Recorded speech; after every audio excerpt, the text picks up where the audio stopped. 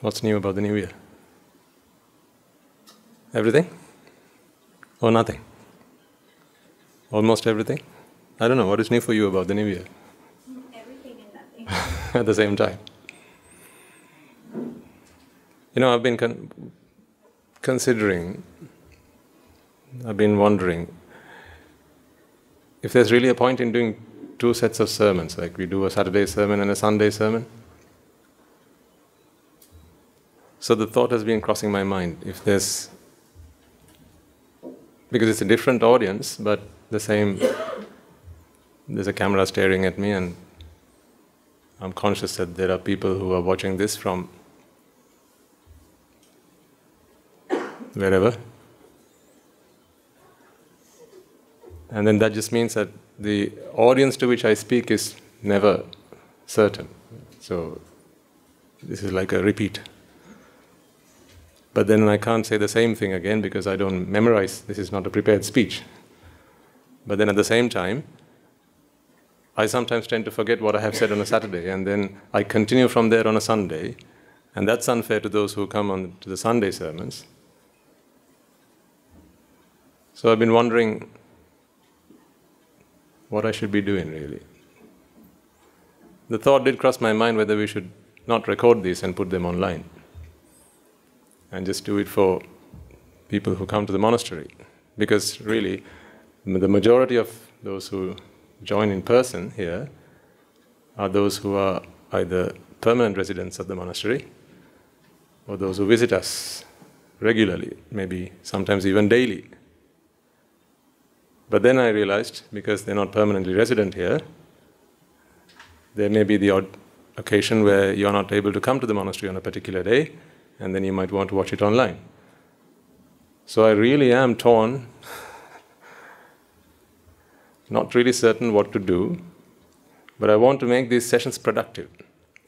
Because it is an investment of time, isn't it? There's no such thing called your time and my time. It's just time, time for all of us to achieve one purpose, that is Nibbana. I don't want you wasting your time, and I don't think you want me wasting my time because it is no, there's no owner to time.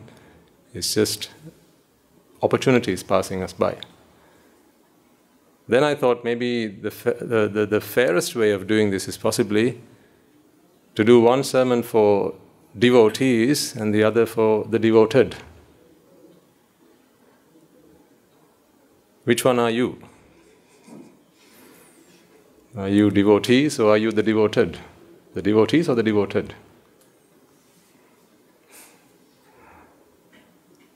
So I thought perhaps I should maybe ignore the camera, which might mean that these sermons might have to be heavily edited before they get online. because these sermons would then not come with caveats. But then at the same time, there will be the, the odd devotee. I don't know whether you are a devotee or a devoted, right? So that is up to you to decide. And then I just need to make sure that none of you feel that you are offended by what I say, because this is not meant to offend anyone. The truth is the truth, isn't it? If you're black, I'm going to say you're black. That's not meant to offend. If you're fair, I'm going to say you're fair. And if you're unfair, I'm going to say you're unfair. That's just the truth. It's not meant to offend anyone, but it is so that people generally tend to feel very offended because they feel this heavy sense of self within them and they're very self conscious. But then, how long can you keep a baby on the bottle? It comes a time where you have to wean them off that and get them to eat proper food so that they can grow and become, become someone, right? So, I think for the time being, I'll, let's keep the camera rolling. These sermons might have to be edited a fair bit, so they may not be as long as the actual sermon is. Maybe you'll get like 10 minutes of this on a Saturday. So that will be extra work for the editors.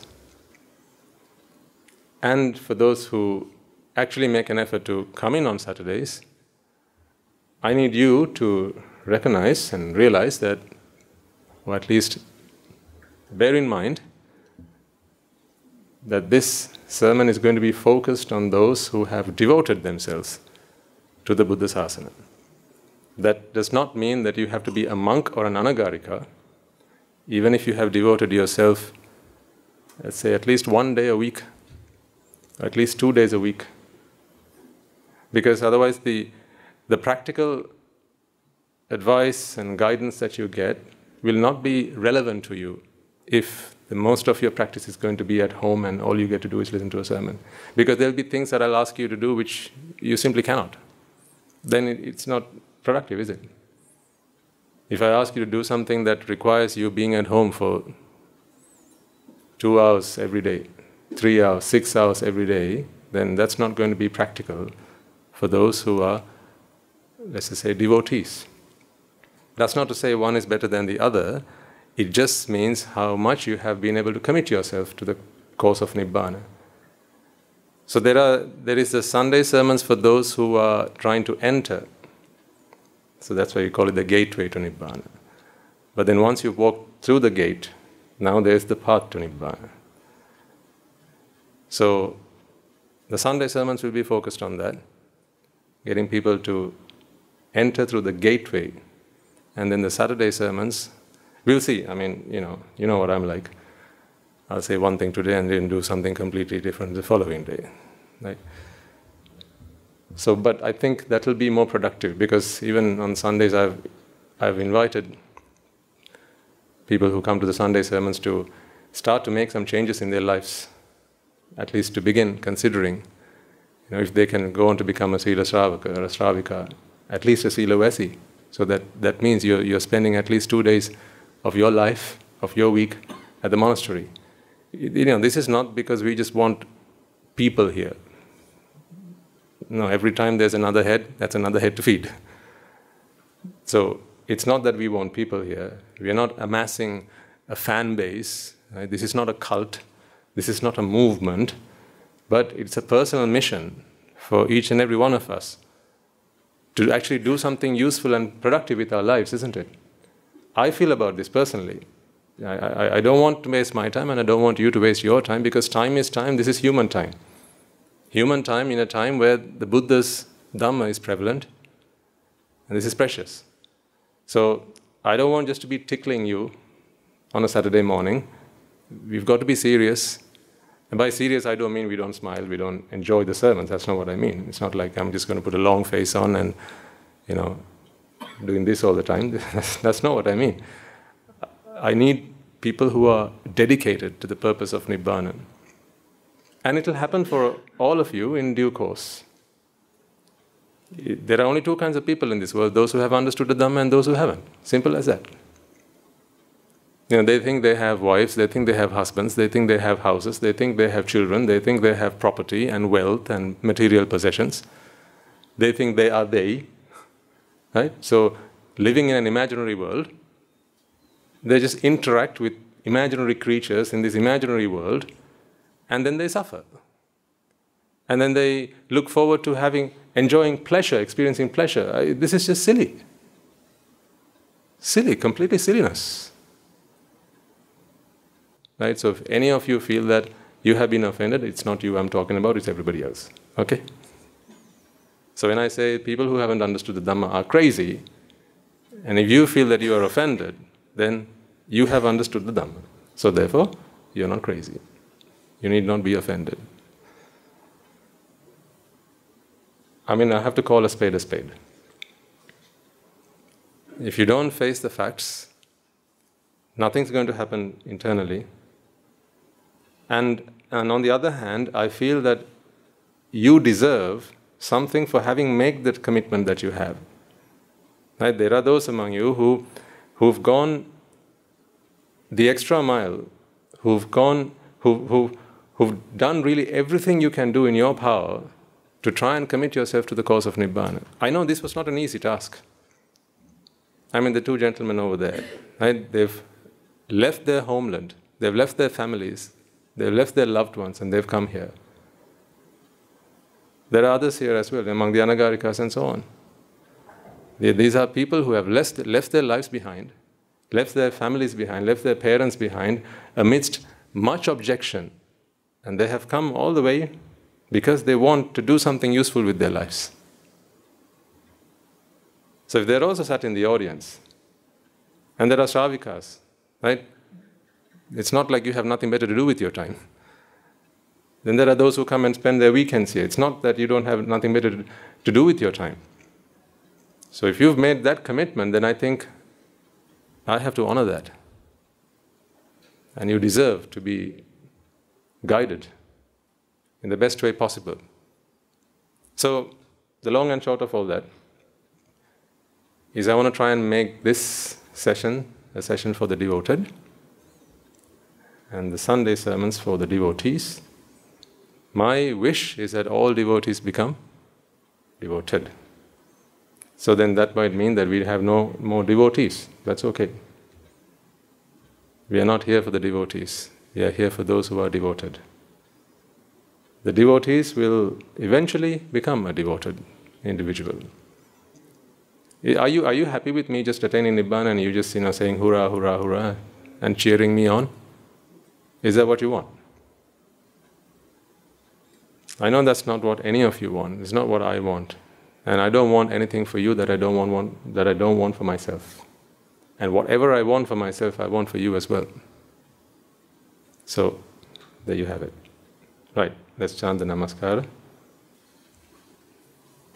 and continue with today's proceedings. නමෝ තස්ස භගවතෝ අරහතෝ සම්මා සම්බුද්දස්ස නමෝ තස්ස භගවතෝ අරහතෝ සම්මා සම්බුද්දස්ස නමෝ තස්ස භගවතෝ අරහතෝ සම්මා සම්බුද්දස්ස I made the bold claim that people who have not understood the Dhamma are crazy.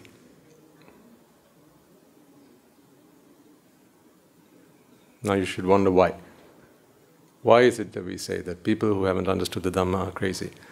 There are only two kinds of people in this world. You can split the whole world into whether it's people or beings. Right? All animals fall into the side of individuals or sentient beings who haven't understood the Dhamma. There is those with the Dhamma, and there is with those without Dhamma. These guys are crazy. A mind that does not understand the nature of the world expects things that don't exist out there. The Dhamma is essentially your perspective on life. It is how you are meant to interpret life. Remember, the mind has no choice but to perceive whatever object is put in front of it. Yeah, let's get it, take it from there. When I put this object in front of your eyes, you have no choice about perceiving this. You have to perceive it. Try and stop yourself from perceiving this if you can. I dare you. Anyone? You can't not perceive this. You have to perceive this. It is a must. There's no option there. It's mandatory that you perceive this. Therefore, you don't need to make a conscious decision about that. You can't. You can't choose not to perceive this, right? So there's no choice there. Why is there no, why is there no choice? Because it's cause and effect. that is what governs everything in this world. That is the overarching phenomenon cause and effect.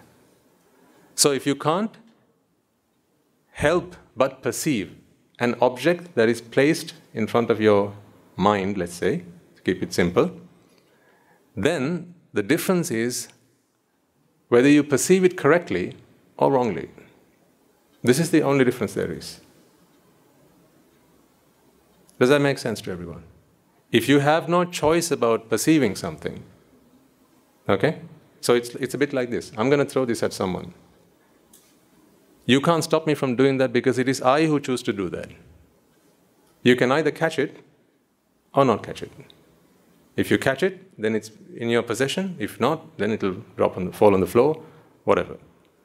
But you can't choose whether I throw this at you or not. In the, in the same way, this is an object and you have a mind. When I put this object in front of your mind, there's no choice about perceiving it. The only difference in the way is the way in which you perceive it. You can either perceive it with the Dhamma or without the Dhamma. That's the only difference. Now, now try and simplify all sentient beings in this world are like that. Whatever transformation is happening within you is the same. When you misinterpret, or let's say misperceive, such a word probably doesn't even exist in the dictionary, I'm making it up, but as long as you understand it. Incorrectly perceive, wrongly perceive, misperceive. Anyone, any misperceives here? If you misperceive an object that is put in front of your mind, that is presented to your mind, then no questions there, you suffer. Simple as that. If you misperceive an object, you suffer. If you rightly perceive an object, you, can I say you're happy? Are you happy then? Then what? You don't suffer, that's all. There's no such thing called being happy. Let's clearly understand what's going on with our lives and try and make sense of this. There is no such thing, such thing called being happy. Although we title this the Buddha's Guide to Happiness, it's really the Buddha's Guide to be without suffering. That's all. You can't create happiness. You can only eradicate suffering.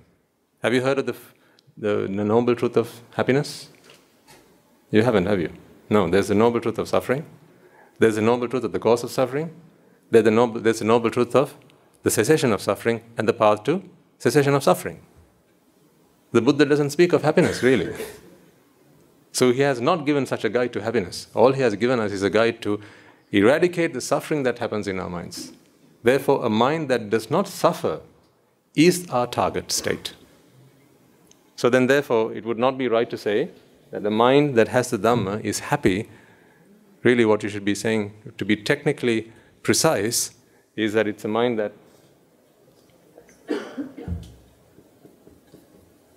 in which there's no suffering. Now, do you see the relationship? Dhamma, no suffering. No Dhamma, suffering. If you have the Dhamma, do you perceive something and you don't have the Dhamma, you don't perceive something? Is that true? No, because there's no choice about perceiving. There's no choice about perceiving. So, is there a choice about suffering then? Yes? Think again. Is there a choice about suffering?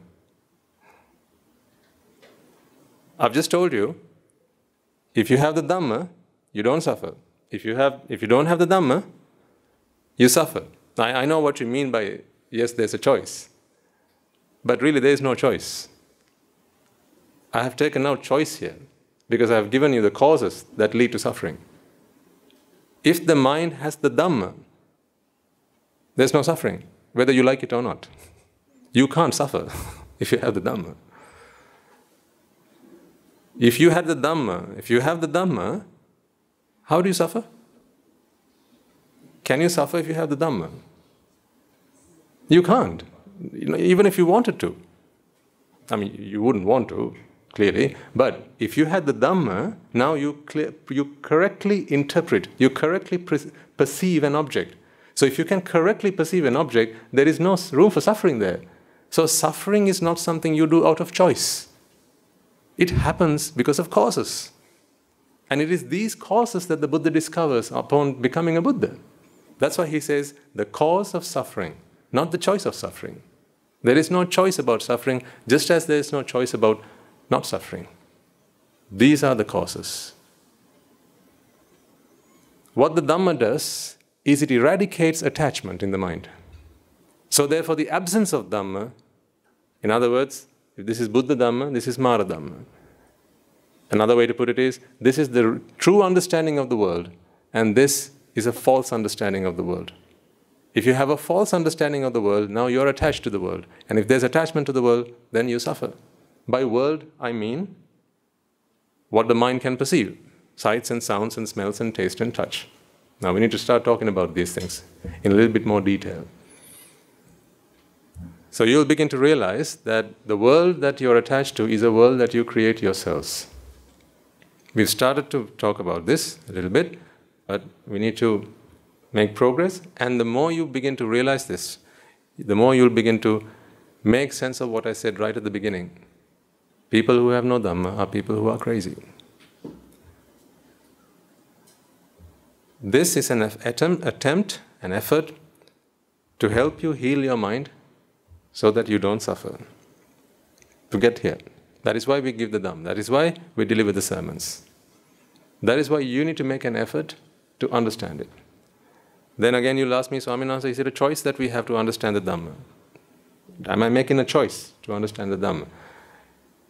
Can you not understand what I'm saying? Hmm? Today is Saturday. Try not to understand that.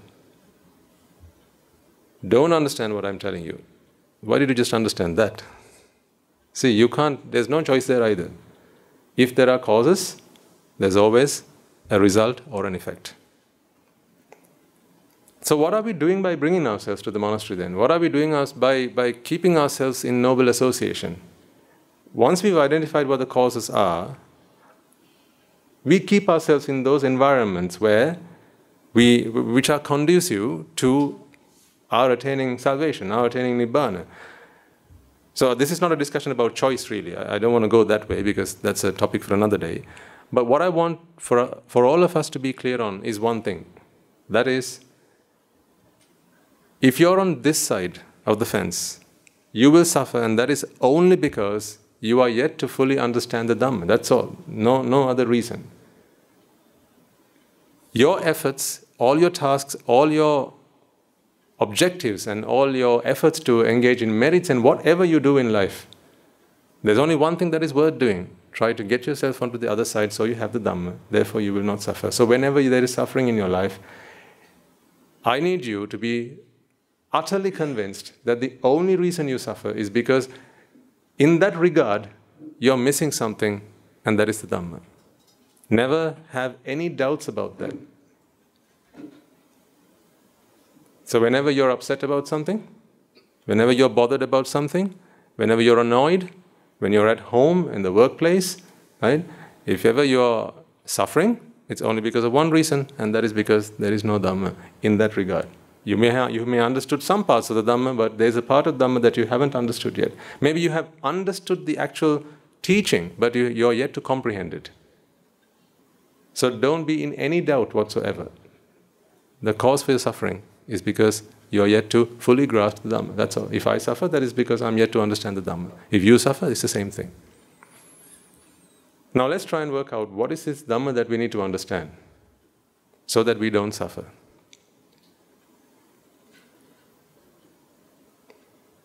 Why do, pe- why do people, or why do we say that people are crazy? Let's take a look at what really exists in this world, in the real world, and then we'll try and understand how people create an imaginary world in which they go on to live. And therefore, as a result of that, how suffering is created in the mind. Let's take any object. Okay? Let's take this. This is an object.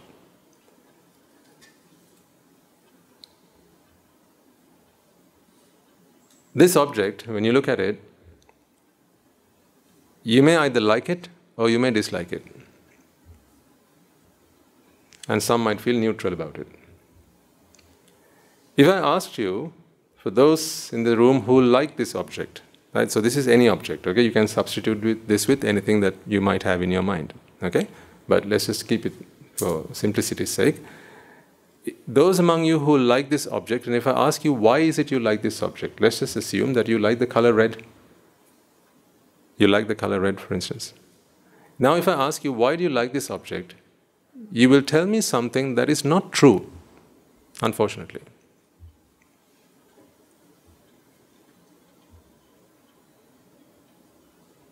There is nothing in this object to like or dislike. But if you like this object, or dislike this object, and I ask you why, whatever answer you give me, it is not true. That's a bold statement to make, but one that is true nonetheless, and I need you to understand this. Let me say that again. When I present this object to you, and I ask you this question Do you like this object? You have an answer yes or no. If we assume for a moment that you like the color red, right? Because most of you will have a favorite color. There are things that you will like. That's why when you go shopping, you buy things in a certain color, right? What color is your car? Chances are you, you chose that color. What color are your walls painted? Chances are you chose that color. What color are your carpets? What color is your sofa? Chances are you chose that color. Right? You chose that color because it's a color that you like. Now you know that the eyes can only help you see color. It doesn't help you see anything else. There is only color. When I present this object to you, color is the only characteristic that your eyes can pick up, isn't it? It doesn't, it cannot pick up the smell of this, it cannot pick up the taste of this, it cannot pick up the weight of this, it cannot pick up its density, it cannot pick up anything about this besides the fact of whatever color this is. Right? So for the time being, I'm saying this is colorful and you like the color red. But now I ask you the question again do you like this object? And when you say, yes, I like this object, and if I ask you why, you say, Swaminatha, it's a red duster, and I like the color red, so therefore I like this duster. Unfortunately, what you have said is false. It is not true. What part of that is not true? The color. Because this is not red. You're giving me a false reason. You're giving me an irrational reason for liking this object. You're liking this for something that this, I mean, this has no merits. Whatever you say is the reason you like this object is not true because it does not have the characteristic that you like. It's not red. So, what color is it then if it's not red? Are we just seeing different colors to what actually are? No. What color is this? It has no color. Remember, the mind, when it opens its five senses, your senses are slaves to your mind. When, when the mind opens its five slaves or sends the five slaves out to bring in things that pleases it, the only things that these five slaves can bring and deliver to the mind are sights and sounds, smells, taste, and touch. These are the five things. Any objections to that? Right? We've discussed, we've talked about this countless times by now. So you know when you open your eyes, you bring in sights, it's not because the eyes want to see, it's because the mind wants to see. Yeah? You know that your ear, you are born with ears because you can you want to hear. Who wants to hear? The mind wants to hear. Does the ear wish to hear? No, the ear is just an apparatus. It's just there. It doesn't even know it's hearing. It doesn't know what purpose it's there to serve. Honestly, your ear doesn't know what purpose it's there to serve. It's just there. When there are vibrations, there's the eardrum that vibrates. The eardrum doesn't know that I'm here to, to perceive sound for you.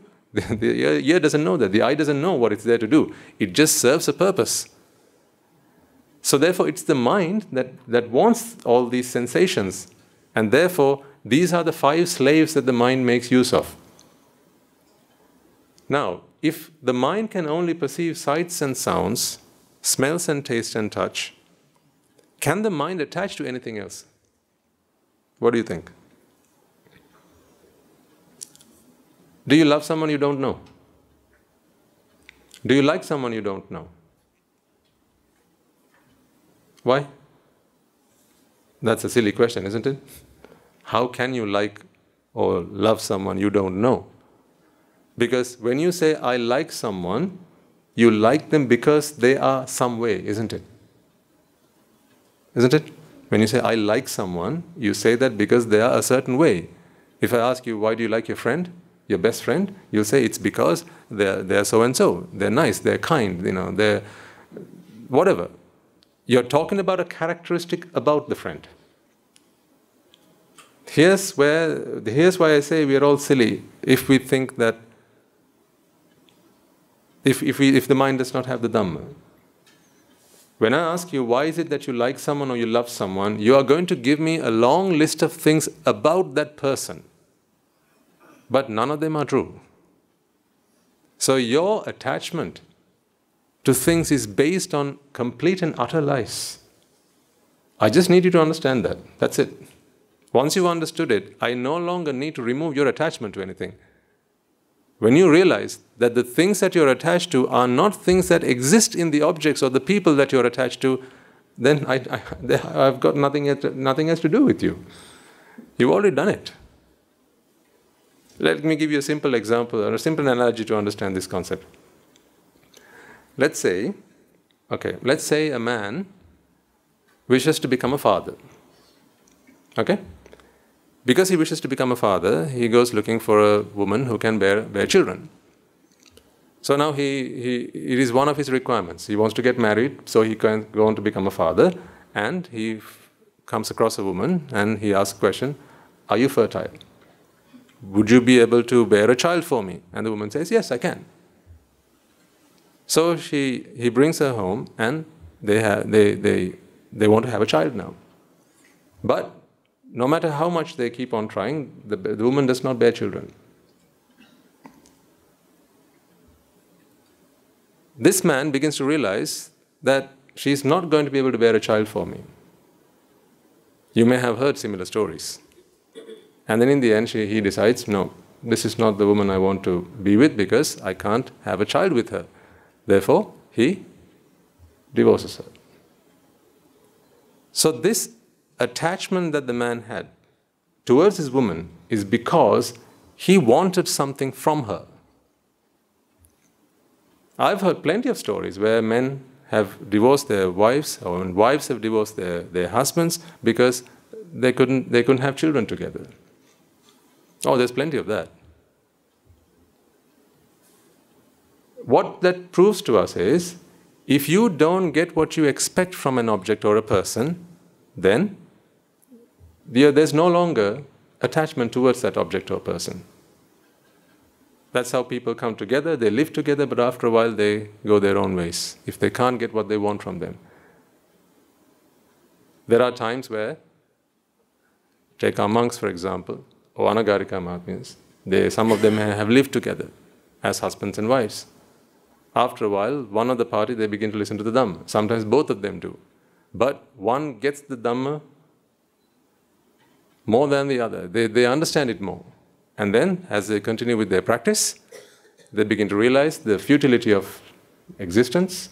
They begin to understand that, they, that running after pleasures is a meaningless purpose to life, and then their, their lives become dedicated and focused on attaining salvation, the Nibbana.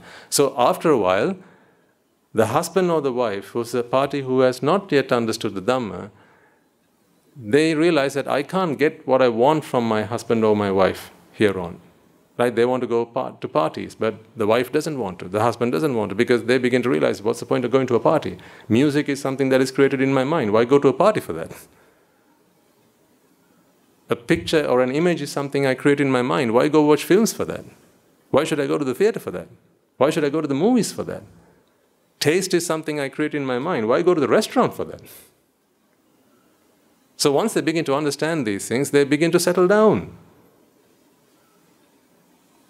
They begin to become more domestic and less a traveler. But if the other party wants to keep, you know, go traveling, see the world, enjoy life as they've always been doing, then they begin to realize, well, there's no point living in this, with this woman anymore. She's not giving me what I want. I can't enjoy my life any longer with living with her. So therefore, they let her go. They give up. They break up. It has happened in the past, it is happening today, and it will happen in the future.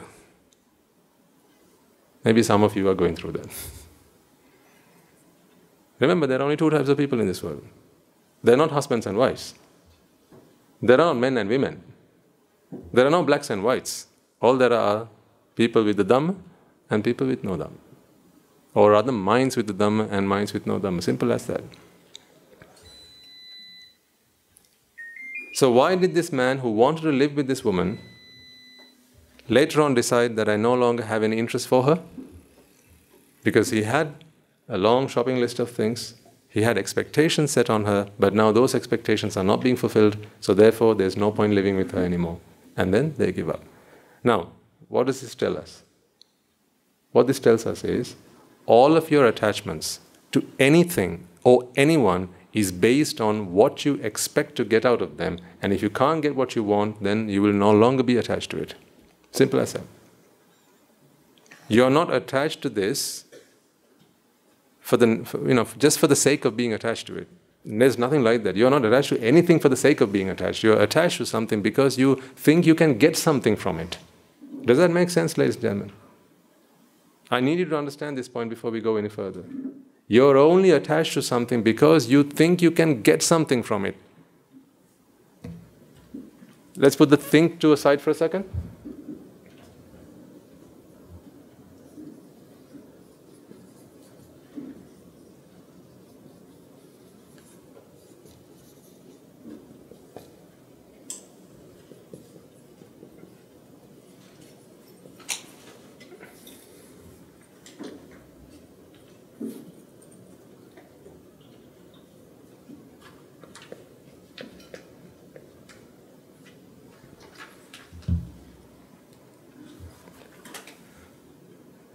You're only attached to something because I can get something from it, something that you like. What I'm trying to prove to you is you think you can get something from it. It's not really there. Your attachments are based on this. You think you can get something from it. But if you begin to realize, if you begin to understand that you just think you can get something from it, it's not real. It's not, you can't really get anything from it. You, it's what you think you can. Now, you realize it's just a thought. It's just an imagination. It's just a creation of the mind. And then you begin to question from yourself what is the point of being attached to that object? So, let's go back to this. You like this because it is red. So much so, if, that, if this was another color, you, you would not want it. I mean, take these flowers, for example. You like these flowers because it's a certain color. Okay? If these were black, for example, let's say it was just black, all of this black, you probably wouldn't even use this for a table decoration. You wouldn't even buy it. You wouldn't take a second look at it. But why have, has someone decided to keep these flowers over here, these flowers over there, you know, those flowers over there, the, the, the, the flower decorations? Would you choose black for a flower decoration? Completely black, just, just dark black. Would you? No, why not? Give me an answer, why not? Because? Because you don't like it. What do you not like? Black, right? You don't like black. You don't like black, I mean, you like black hair, you like a black horse, but you don't like black flowers. So, what, what color do you like your flowers in? Pink? Hmm? White? Yellow? Red? Purple? Violet? These are the colors in which you like your flowers, but you don't like it black. So, if I could, if I had a magic wand and I change the color of these flowers to black, would you take them home with you? It depends on the contrast, though. Like, Of course. Once again, we're talking about color, isn't it? yeah. Yeah? So that's, that's, that's, that's exactly the point I'm trying to make. Your, your liking to something is based on a characteristic you believe is inherent in the object. See, when, even when you talk about con- right now, contrast is exactly what you're looking at because you know you, the reason you know that this is pink is because the, it's the background is not pink. If the background were pink and the foreground was also pink, now you wouldn't even see these see these flowers. You see the writing on this board because the board is white and the writing is blue. If the board was also blue, you wouldn't see the writing. So then the reason that you like these flowers is not because you actually see flowers. You're seeing contrast. You're seeing a difference in foreground and background. But when you look at this image, when you look at this site, your mind is able to pick up individual sight elements. All you see are individual sight elements because these are light rays bouncing off these, falling on your retina, and then working through working their way through your brain and then into your mind, and you see individual light elements or images which are then compounded. They're compounded to give you the object that you need to perceive as a flower. What you're really seeing are simply elements of color. So, going back to the point I was trying to make, your liking to this object, to these flowers, because I asked you, would you like them in black? Chances are you don't. I mean, most people don't like flowers in black because whatever, yes, perhaps if you had a white background, maybe you could put the, the black flowers there and maybe you might say, well, I like that. Once again, you like it because you think it's, it's, it's colorful. That's the point I'm trying to make. You think that something is colorful. You, if, you, if, you if you took a, a, a flower and you said, I, I like the smell of this, you hold it to your nose and you take a deep breath and go, that's very, that's a sweet smell. Now I ask you, why do you like those flowers? Take a jasmine, right? You hold it to your nose and you say, I like this smell, I like this flower. I ask you, why? Because it smells nice. See, once again, you're talking about something that you believe is a characteristic of the object. You think this, it's the flower that gives you the smell. That's why you like it. Why do you like the food that you like? Because it tastes nice. You see, you're wrong in, in, in making that judgment. You, you think it tastes nice. You think the object, you think the food tastes nice, but the food has no taste. It doesn't have a taste to taste nice. What does a biscuit taste like? Now you say a biscuit. what does cake taste like? You say a cake. No. They don't taste like anything because they don't have taste. These are all creations of the mind. You have a question? Go on. But the tongue has like receptors on it. Yes. Remember, like that's how we did an experiment with us with like salt and sugar. So there are certain parts of your tongue that can sense. Yes. What do they sense? Taste, right? Yeah. like, it's, it's all sweet or, But they don't. but then how how do we taste? That's what we get into. Okay? They don't sense, taste because taste is not something that is inherent in an object. Now, if you take that example of the tongue, there are receptors. Let's say this is the shape of a receptor. There are molecules in your food that, has a, that have a complementary shape. These are complementary shapes. This shape fits this receptor. It's a shape, not a taste. What taste is this shape? What do rectangles taste like? See, now you begin to understand. These are shapes, they're not tastes. But these nerve endings are stimulated when a particular, a complementary shape comes and fits into the receptor. So these neurons, when they are stimulated, they are able to convey an electrical current which the brain, working with the mind, interprets as taste. So therefore, taste is not in the object. In, this, in the same way, color is not in the object. Color is not something that is here. But if I ask you, why do you like this? You tell me it's because it's red. This is the problem. This is exactly where I want, what I want you to understand. Why do you like these colors, these flowers? Because you say it's red, it's, it's pink. You like, you like pink flowers. That's wrong, ladies and gentlemen. There are no such thing called called pink flowers.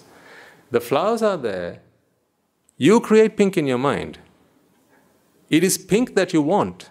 It is white that you want. It's the jasmine smell that you want. It's cake that you want, the taste of it. Remember, sight, sound, smell, taste, and touch. All of these five are products of the mind.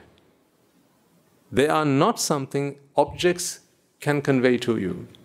The object cannot deliver such a thing to you. Then why do you attach yourselves to the objects?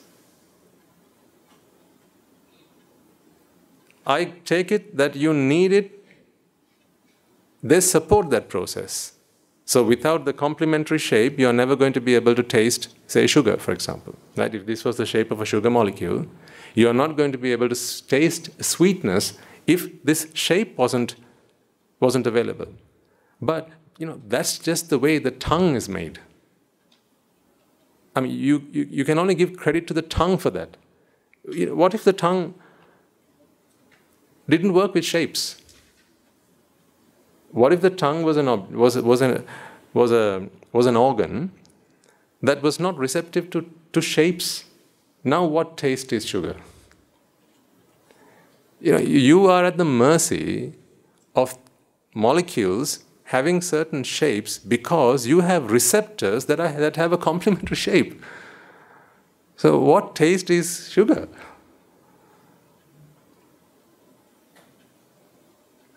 Try and make sense of what I'm trying to get across to you. So, then you realize, you know, this is all crazy, madness. You know, the only reason. Okay, I'll give you an analogy. The only reason that you keep going to work is because they pay you money that you can use. What if they paid you in rocks? Rocks. Or they paid you in rubles. In our country, you can't use rubles. Or they paid you in lira. In our country, you can't use them. So the only reason that you go to work is because they pay you in a currency that you can use. Yeah? See, the only reason you can perceive taste is because in the world out there, there are molecules that have particular shapes, and you have receptors that are complementary to that shape. That is why you taste them as taste. That's why you perceive taste. Taste does not exist, it's not a real thing. This is simply a handshake.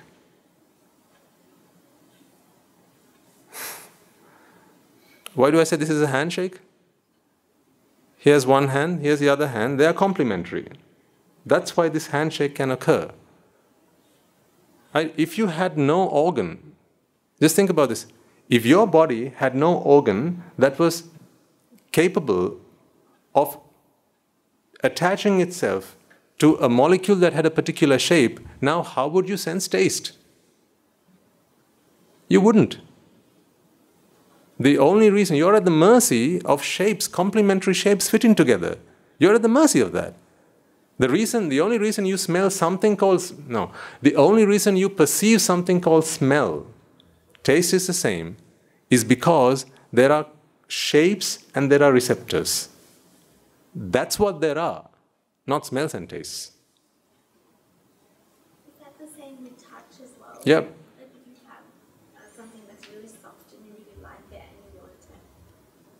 Yes, so the reason that touch, how touch, touch works is because you have receptors again. Right? Whatever you, you, you, you can sense if you, when you hold an object is because there are pressure receptors. If you, when you, when you press this object, now this duster is softer than the pen. And this is a science lesson, by the way. This is not Buddhism. Okay? But that's okay because what I want you to understand is that these sensations that you're attached to, they don't exist out there. They're all creations of the mind. That's okay. So that step is important to make progress and get ourselves, take ourselves to the, to the next step. When you press against this, it feels soft. In fact, the same object, if you press against this side, it feels hard. This side feels soft. This is so because when you press this side again with your finger, you can keep going until the receptors that are further into your skin. So there are recept- there are two types of receptor- receptors. There are receptors that can sense that there are that will be triggered right on the surface, and then there are other receptors that are further back in your skin, in the, in the various layers of your skin, they are, the, they are further back. So, because this is soft, you can keep pressing it until those receptors at the back, in the, in the back layers, are stimulated. So, it's, it's like this if I drew it on the board. This is a hard object. And say this is a soft object. Okay? Now, when you put your finger against a hard object, this is your putting your finger against a soft, soft object.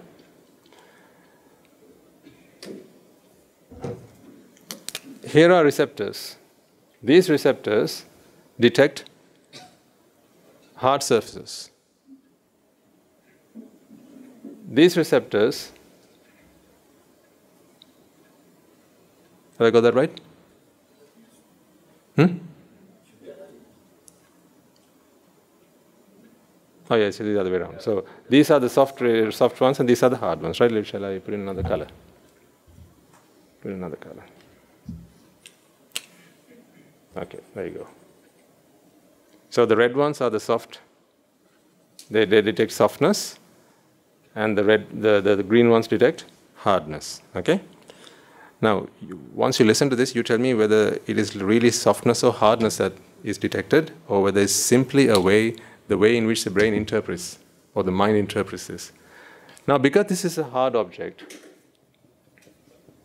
because this is a hard object, there's only so far your, your finger can go.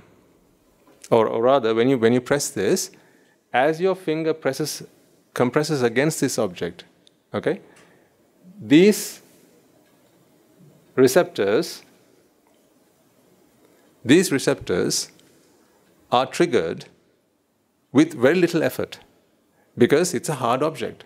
So as you press your finger against a hard surface, the the hardness receptors, let's have we call it the hardness receptors, and these are the softness receptors, right? The softness receptors, of course, you know, they come into contact almost immediately. Right? So even now, how do you say something's hard? You know, if you just merely touch it with the surface, you can't say it's hard. You got to keep going. Right? If you keep compressing your finger and keep pushing it a little bit further in, you realize that the hardness receptors are quickly triggered without you having without you, you you actually going in a lot further in. But when you say something soft what that means is your softness receptors are the same right? Both both sides it works the same. But you can keep going in a little bit further and this object will will um, shall we say compress?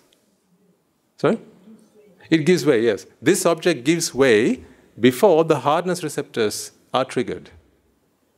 Whereas we here, it happens immediately. So, because it's your finger that's giving way. Here, the object is giving way. All that's happening is these nerve endings are triggered.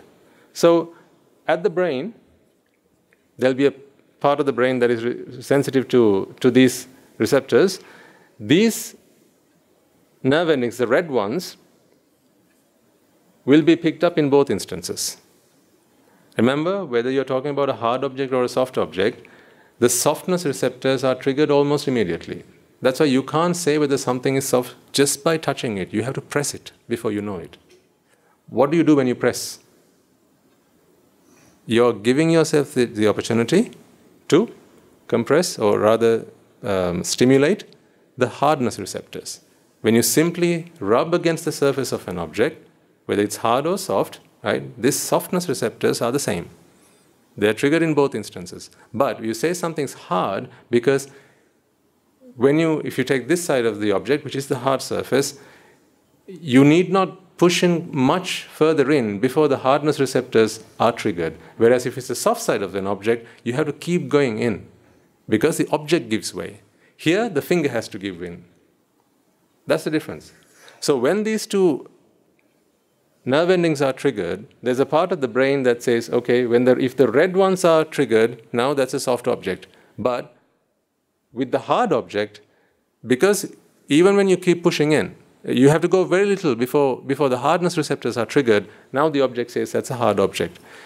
Aren't all soft objects also hard?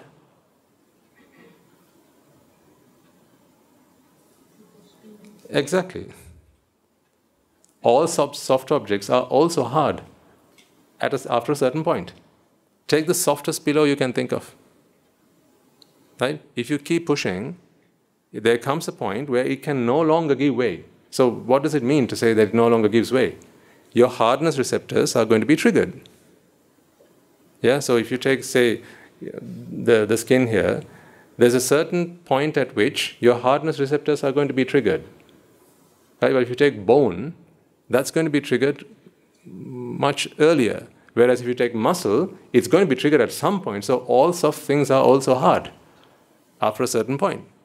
What that means is the red receptors or the softness receptors are triggered earlier on, but the green receptors or the hardness receptors are also triggered a little further in. So the moment the hardness receptors are, are, are, are triggered, now the brain thinks that it's a hard object. See, this sensation that you perceive, it's only a sensation in the mind.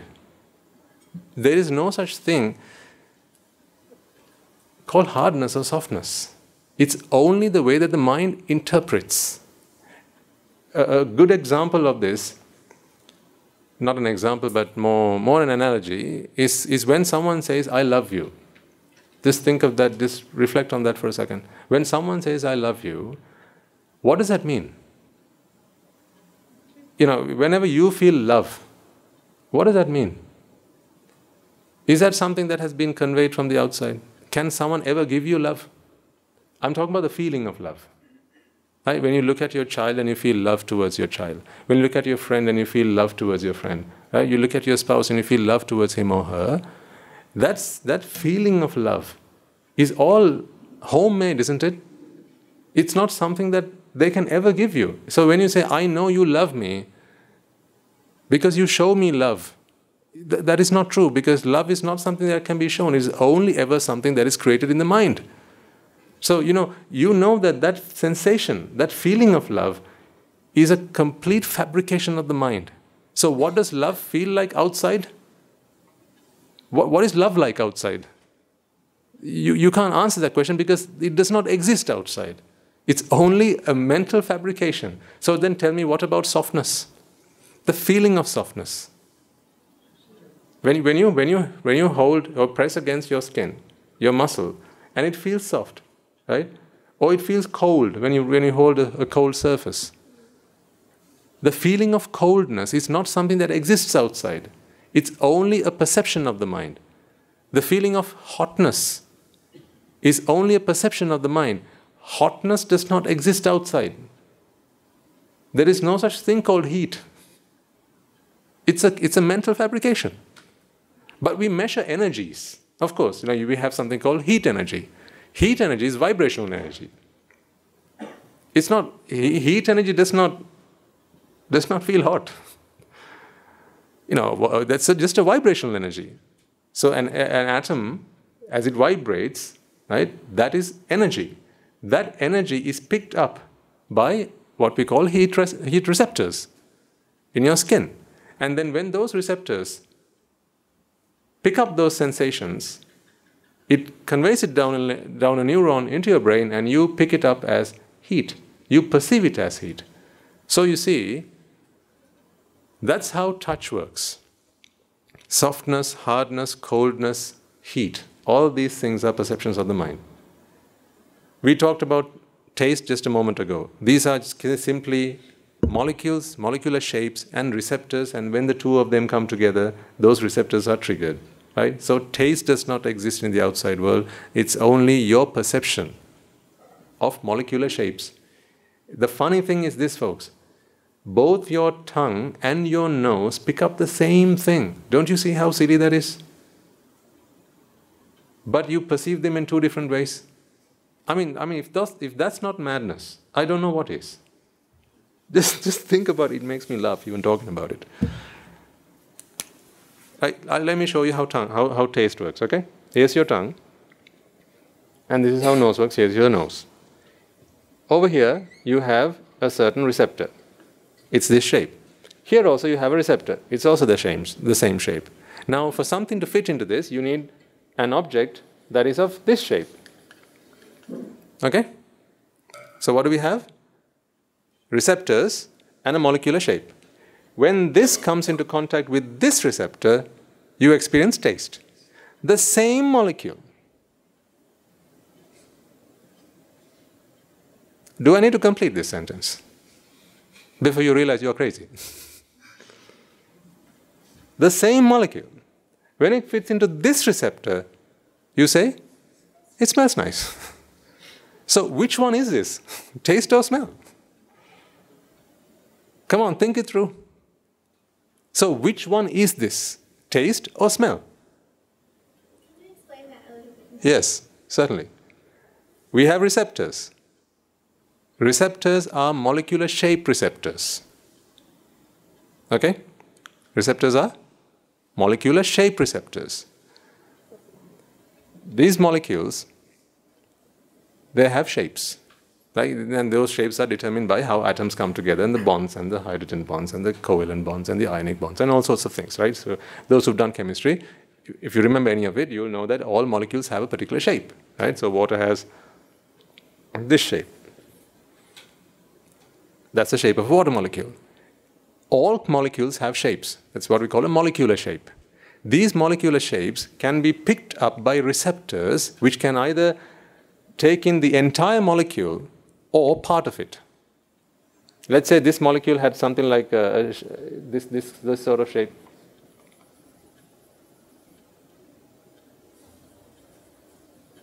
Okay?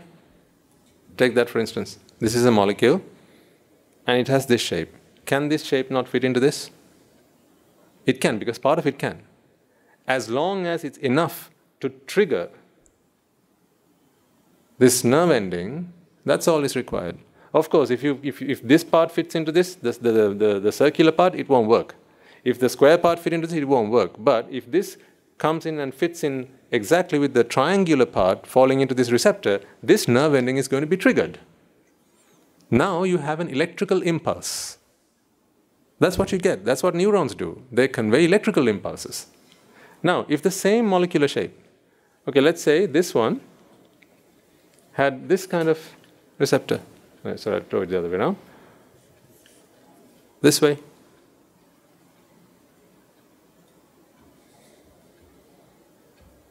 Okay, let's put it this way.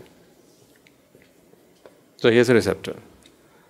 Now, the same molecule, if you pick it up, turn it around, and now this part of it, the circular part, that comes and fits in here. This is the same molecule, okay? Here, it's the same molecule. This fits in here, this part fits in there. That the nose? That's a nose. Does it not look like one? So this, this is the nose and this is the tongue. Okay? Now tell me, think, the, think, think this through. When this nerve ending is triggered, it sends a signal to the brain to what we call the taste center.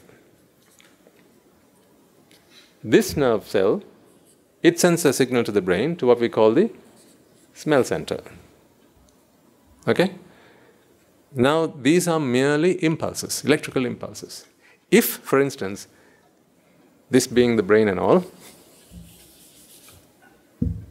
here's the brain. Say this was the smell center and this was the taste center in the brain. Okay? So this neuron ends here. This one ends up here. Okay? So this is your taste center, this is your smell center. What would happen if we were to swap these two? Now we do this is brain surgery. Right? We take this nerve and we slice it and fit it here. This one we divert it and put, plug it to the taste center. What do you think is going to happen? Now, when this, this shape comes into contact with your tongue, you smell something. When this shape comes into contact, the same shape comes into contact with your nose, you taste something. So, what was this then? Smell or taste? Was this a smell or was it a taste? Hmm? It was neither. It's neither.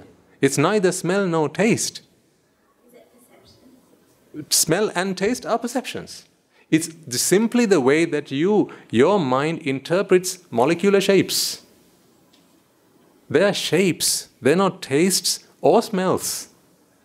So, what does that tell you when you experience smells and tastes and then you attach yourselves to them?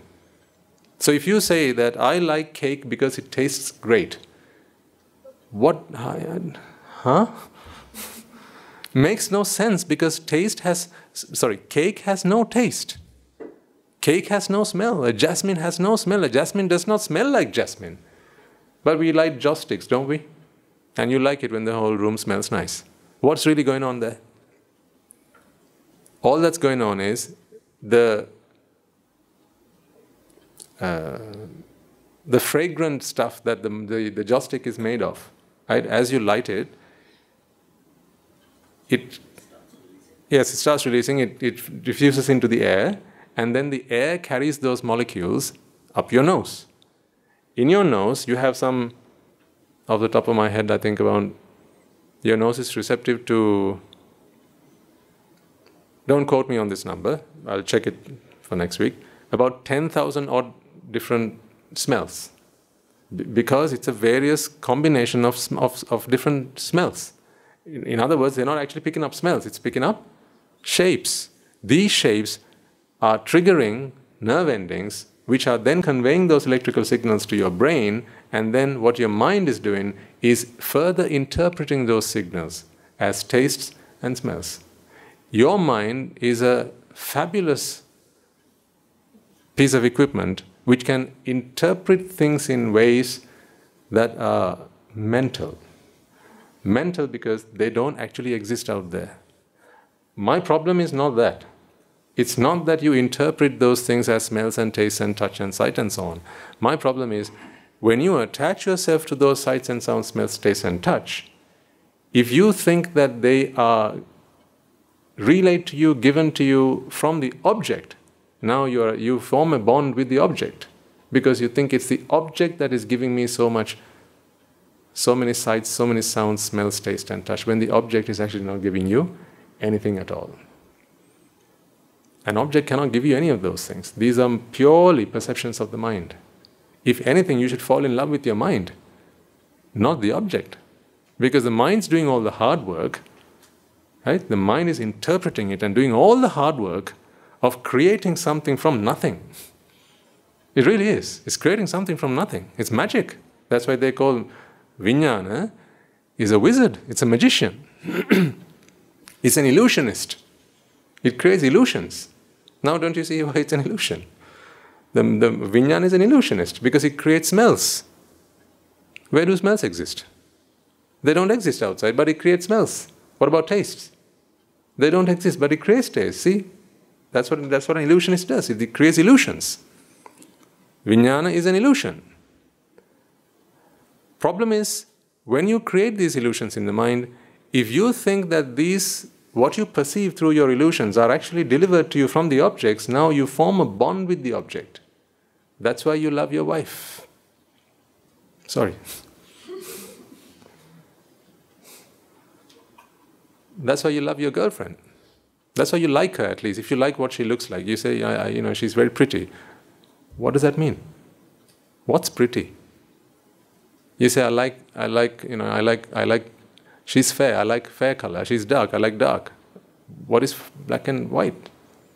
These are only creations on the mind. If you like her rosy cheeks, what's rosy about her cheeks? If you like her red lips, what's red about her lips? all that's out there is Patavi, Apo, Tejo, Vayu. These are the four basic elements. The four basic elements are there, no lips are there. she doesn't have lips. It's just the four basic elements. If you want to take a scientific look at it, there's just high carbon, hydrogen, oxygen, nitrogen. Where are the lips? These are merely protein molecules, aren't they? These are proteins. Where are the lips, I ask you? Show me your lips. Your boyfriend loves your lips. Okay, now show me your lips. your boyfriend likes your hair. Show me your hair. He says he loves, he loves your eyes. Show me your eyes. All you have are protein molecules. Those protein molecules are particular shapes. Right? And if you, if you, if you expand a protein molecule, you have carbons, hydrogens, oxygens, nitrogens. These are the things that make up your protein molecules. That's all you have. You don't have lips. But here's what the mind does when the mind opens the eye that is its slave, it picks up light signals. These are energies. bouncing off carbons, hydrogens, oxygens, and nitrogens, bouncing off, bouncing off carbohydrates, bouncing off lipids, bouncing off proteins, bouncing off keratin, which is what your hair is, bouncing off your skin, which is also just, you know, it's just dead skin cells. This is what, this is what light does. It just bounces off things. And then the eye picks up. It does not pick up color. The eye does not pick up color because there is no such thing called color. These are just electromagnetic waves, vibrations again. And then it sends that signal to your brain. Your brain interprets with the help of the mind. So, this is where Rupa, Vedana, Sanya, Sankara, Vijnana happens. It interprets these light rays as colors. And then it doesn't stop there. Individual dots of color, it merges together. It merges them together. That's why you don't, you know, when you look at someone or something, you don't just see individual dots, right? You don't see individual elements of color. You actually see you know, proper objects. That is only possible because your mind is constantly weaving them together. Individual data points, it's weaving them together to create information. So your mind is a supercomputer. It's taking in bits of data constantly and weaving them together to create information. So when you look at something, you think it's, it's an object. We talked about contrast a moment ago. The reason that you see that there are lips on your face is because there's a contrast in color. If, if my face was the same color as my lips, then my whole face would be lips. You wouldn't see lips here. The reason that you are able to identify this as a different part of my body to this part of my body is because there's a contrast in color. So all you see are mentally, you see colors. What gives you this information that these are lips and this is the face? That's your drishti. It's knowledge that you have. See, let me ask you this question. I want you to think about it before you give me an answer. Is this a pen that you are seeing? Or is what you are seeing a pen? Think about it. Let me ask the question again. Is this a pen that you are seeing? Or is what you are seeing a pen? What you are seeing is a pen. It's not the pen that you see. What you see has become the pen. This is not a pen. I've gone nuts, haven't I? This is not a pen. You've never seen a pen. Your mind is constantly weaving all this information, not this information, the information that it's receiving right now. It's weaving, you know, all it's receiving is dots of color, isn't it?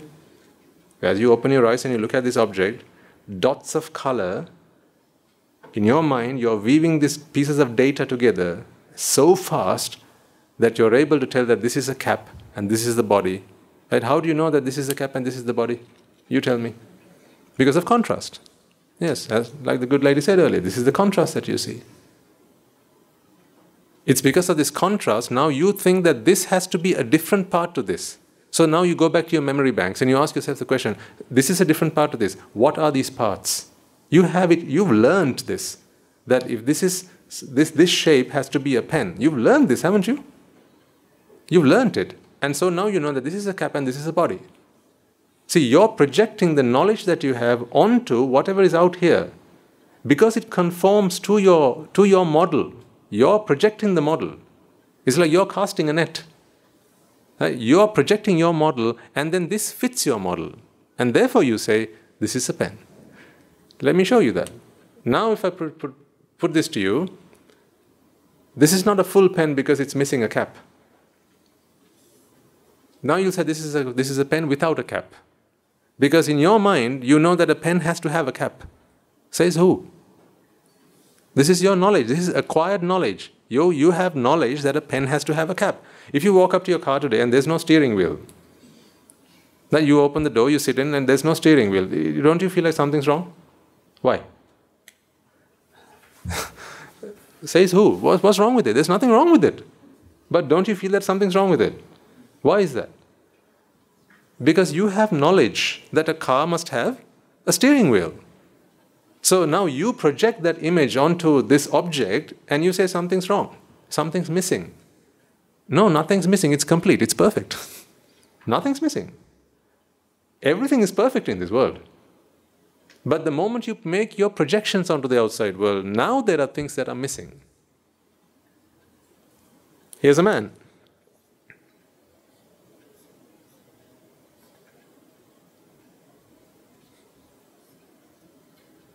Yes?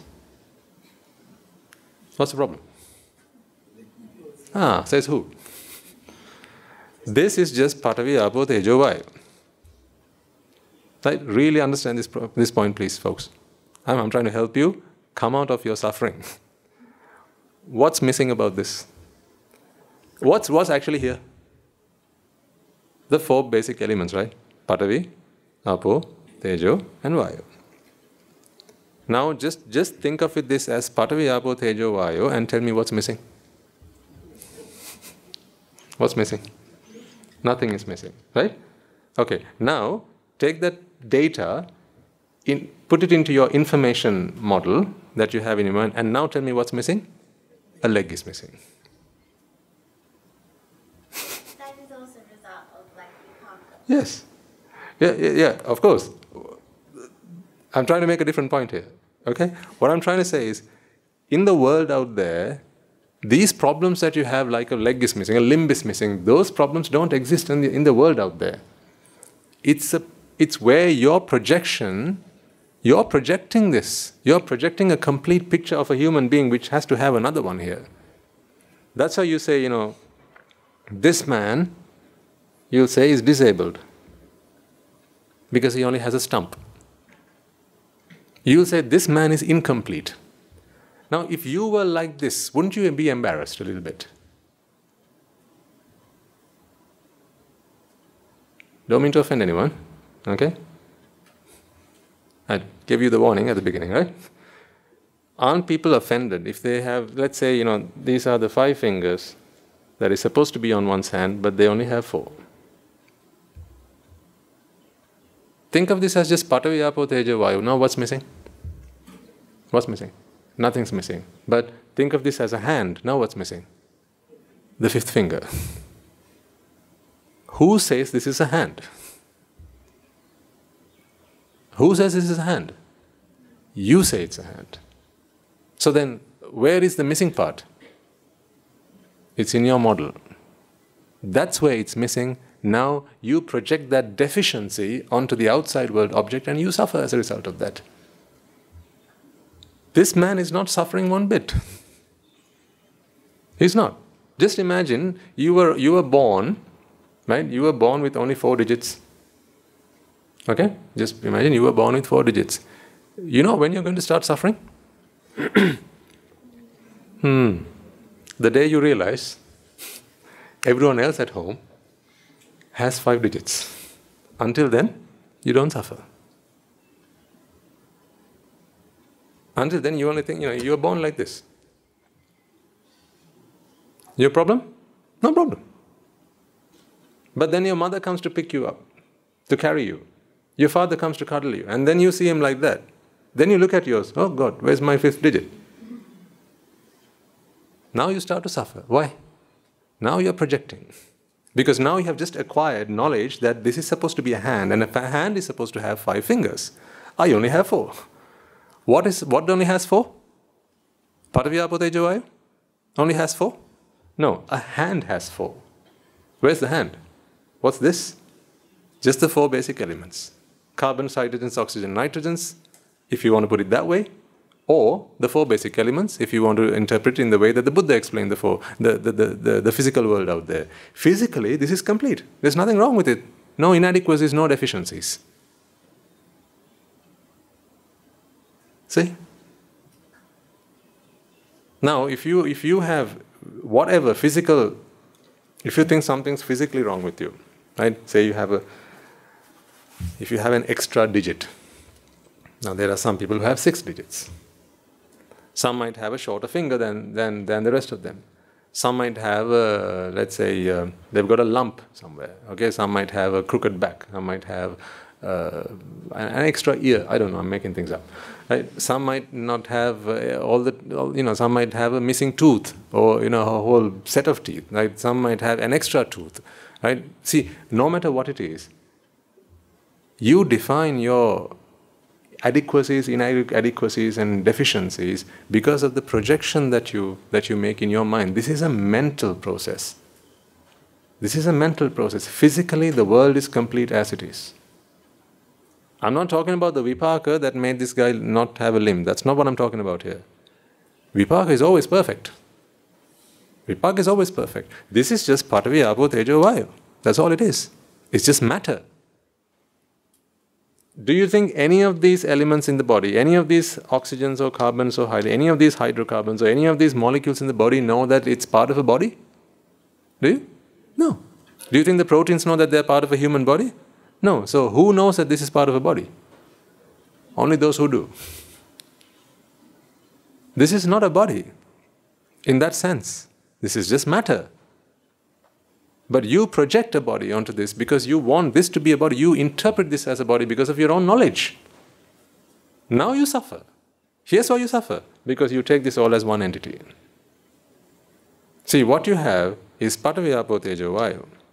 But you connect them and you create this entity, this entity that it's a human body. And once you create this human body of an entity, now you say this part is missing, that part is missing, because that entity is created in your mind. It does not exist out here.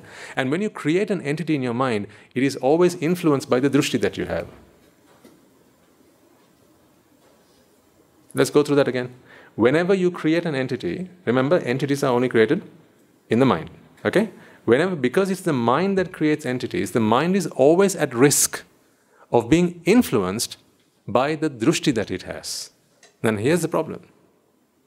Because the mind is always influenced by the drushti that it has, whenever it creates an entity, it doesn't simply take the object as is. It creates that entity and it weaves it with all of the drushti that, that it has to come with it. So, therefore, when you create an entity out of this, you try to identify what this is. Because you know, an entity has to have an identification, doesn't it? Not I don't necessarily mean the name pen. I don't mean the label, the pen. Okay? You might know this as an entity even without knowing it's called a pen. It's still okay. Imagine you were seeing this pen for the first time in your life. You, were seeing a pen for the first time in your life, you would know this is called a pen. But it's still an object. You would still identify it as an object. As you identify this as an object, it will be now an unknown object. Okay? As you identify this object, now you are going to learn about this object. You want to learn about this object. So you go through the rupa, you go through the vedana, you go through sanya, you go through sankhara, right? And now you create this object. Then it becomes an entity in your mind because of ignorance and attachment. The moment you ent- entitify this object, now you have a mental description of this. It's formed, it, it is influenced by drushti. Right now, you don't know it's called a pen. Okay, but you acquire knowledge about it. You ask someone, what is this thing called? They say it's a pen. Okay, then you take it up and you, you pull these pieces apart. Ah, okay, it has a clip, it has a nib, it has a barrel, it can write. See, now you're, you're picking up, acquiring knowledge about a pen. But what's really in my hand? The four basic elements. All I have in my hand are the four basic elements and a combination of them. Is it supposed to be able to write? Is this supposed to be able to write? No. The four basic elements, are you supposed to be able to write with it? No. But once it becomes a pen in your mind, now you have to be able to write with it. You shouldn't you need not be able to write with the four basic elements. They're just the four basic elements. That's it. But if you interpret this as a pen, and how does that happen? This is where vijnana becomes vijnana skandha. You interpret when you open your eyes individual dots of data, right? So initially you only see the sight. And then you come and pick it up. Now you know it has a weight. And you know how hard this is. See, all of this, you're, you're augmenting the pieces of data that you have in your mind, you're augmenting them, you're, you're, you're compounding them, all fitting it into one bag. You have in your mind a bag that's called a pen bag. It's not a bag of pens. I mean, it's a bag into which you put all of the data that you collect about a pen. This never existed until you, you asked this very first question What is this? And someone said, It's a pen. From that day on, every time you touched a pen, you put in data into this. If you could, you could, you would lick it. You know, some people they put the pen in the mouth. Right now, those people they know what a ten, pen tastes like. I don't because I don't do that. some do, right? So they know what a pen tastes like. So when you put that in your mouth and you and you, you, you I don't know you suck on it or whatever, now that data goes into this bag. So this is what a pen is supposed to taste like. This is what a pen feels like. This is what a pen smells like. This is what a pen smells like. There's no such thing. All there is is the four basic elements. This always was the four basic elements. This always will be the four basic elements and simply a combination of those elements. But in your mind, you merge all these information together. You merge all this information together, you augment, you, you, you compound all these pieces of information together, and in your mind, you create an entity called a pen.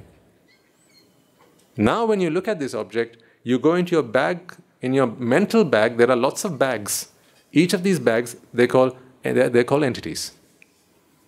So when, you, when I present an object to you, what you do is you go into one of those entity bags, you go into the entity room, right? You open the entity room and in your mind you have lots of different bags. In those bags you have cats and dogs and husbands and wives and brothers and sisters and pens and pencils and mangoes and chimpanzees. You have all sorts of things. So now what you do is you put your, your hand into one of them. It, it all depends on what this triggers. Okay? So when you look at this, you don't think chimpanzee. You, because this has a trigger. When you dip into your mental, you, you go into that mental entity room, you take this vipaka object.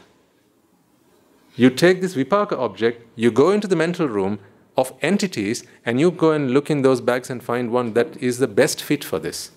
Remember, what you bring back is not a vipaka. What you bring back is an entity. Then you bring back the entity and you put it against this vipaka and you say, oh, the clip is missing. Because in that entity room, there was a pen, a pen bag. What you picked out of that, it has a pen, it has a clip. You bring it back and you project it on this. Now, it is a pen without a clip. Because you know that it is supposed to have a clip. What about an arahant then? Doesn't an arahant know that a pen should have a clip? Of course they do. They do.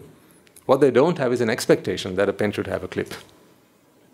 They know because they also have a room. These are simply called namagota. In fact, they're called, they're not entity rooms, they're memory banks or memory rooms. In those memory rooms, they also have pens, but they're not entities. In other words, they don't come with an expectation that this should all be one package. That they don't have. These are merely elements manifesting as pens and pencils and this, that, and the other.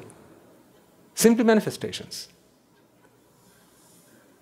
But when someone who's a non arahant, someone who has no Dhamma, when you go into your rooms, you have rooms of entities. When you see this vipaka, this becomes an entity in your mind. So actually, you take a, cre- a fully formed entity out here and you go into the entity room to check which one fits with this. Okay?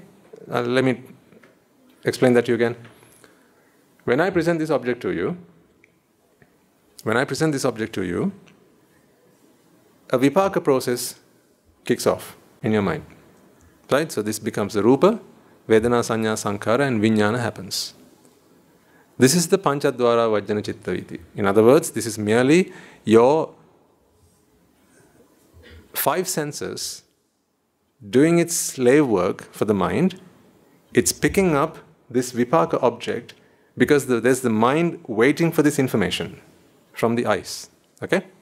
When I say the eyes, I don't mean the physical eyes. I mean the process that is related to how the, how the eye relays information to the mind. Because ultimately, the mind is, the, is where all the magic happens. The, eye, the mind is where all the magic happens, but it is making use of the eye. It's making use of the eye, and this is all a vipaka process. I haven't got to the karma process yet. In the vipaka process, there comes a rupa. So we have the pen. Vedana, Sanya, Sankara, and Vijnana takes place. Now, now you're an arahant at this point. Okay, you're just an arahant at this point. You have a chakkuncha paticca rupecha chakku vijnana, by which you have simply seen a manifestation of a pen. This is merely a manifestation at that point. But remember, this process is run on a base that is ignorant and attached. In other words, to entities. Although that is the vipaka process, parallel to the vipaka process, you have a karma process that is running. This is run because of ignorance and attachment. So you can draw them parallelly.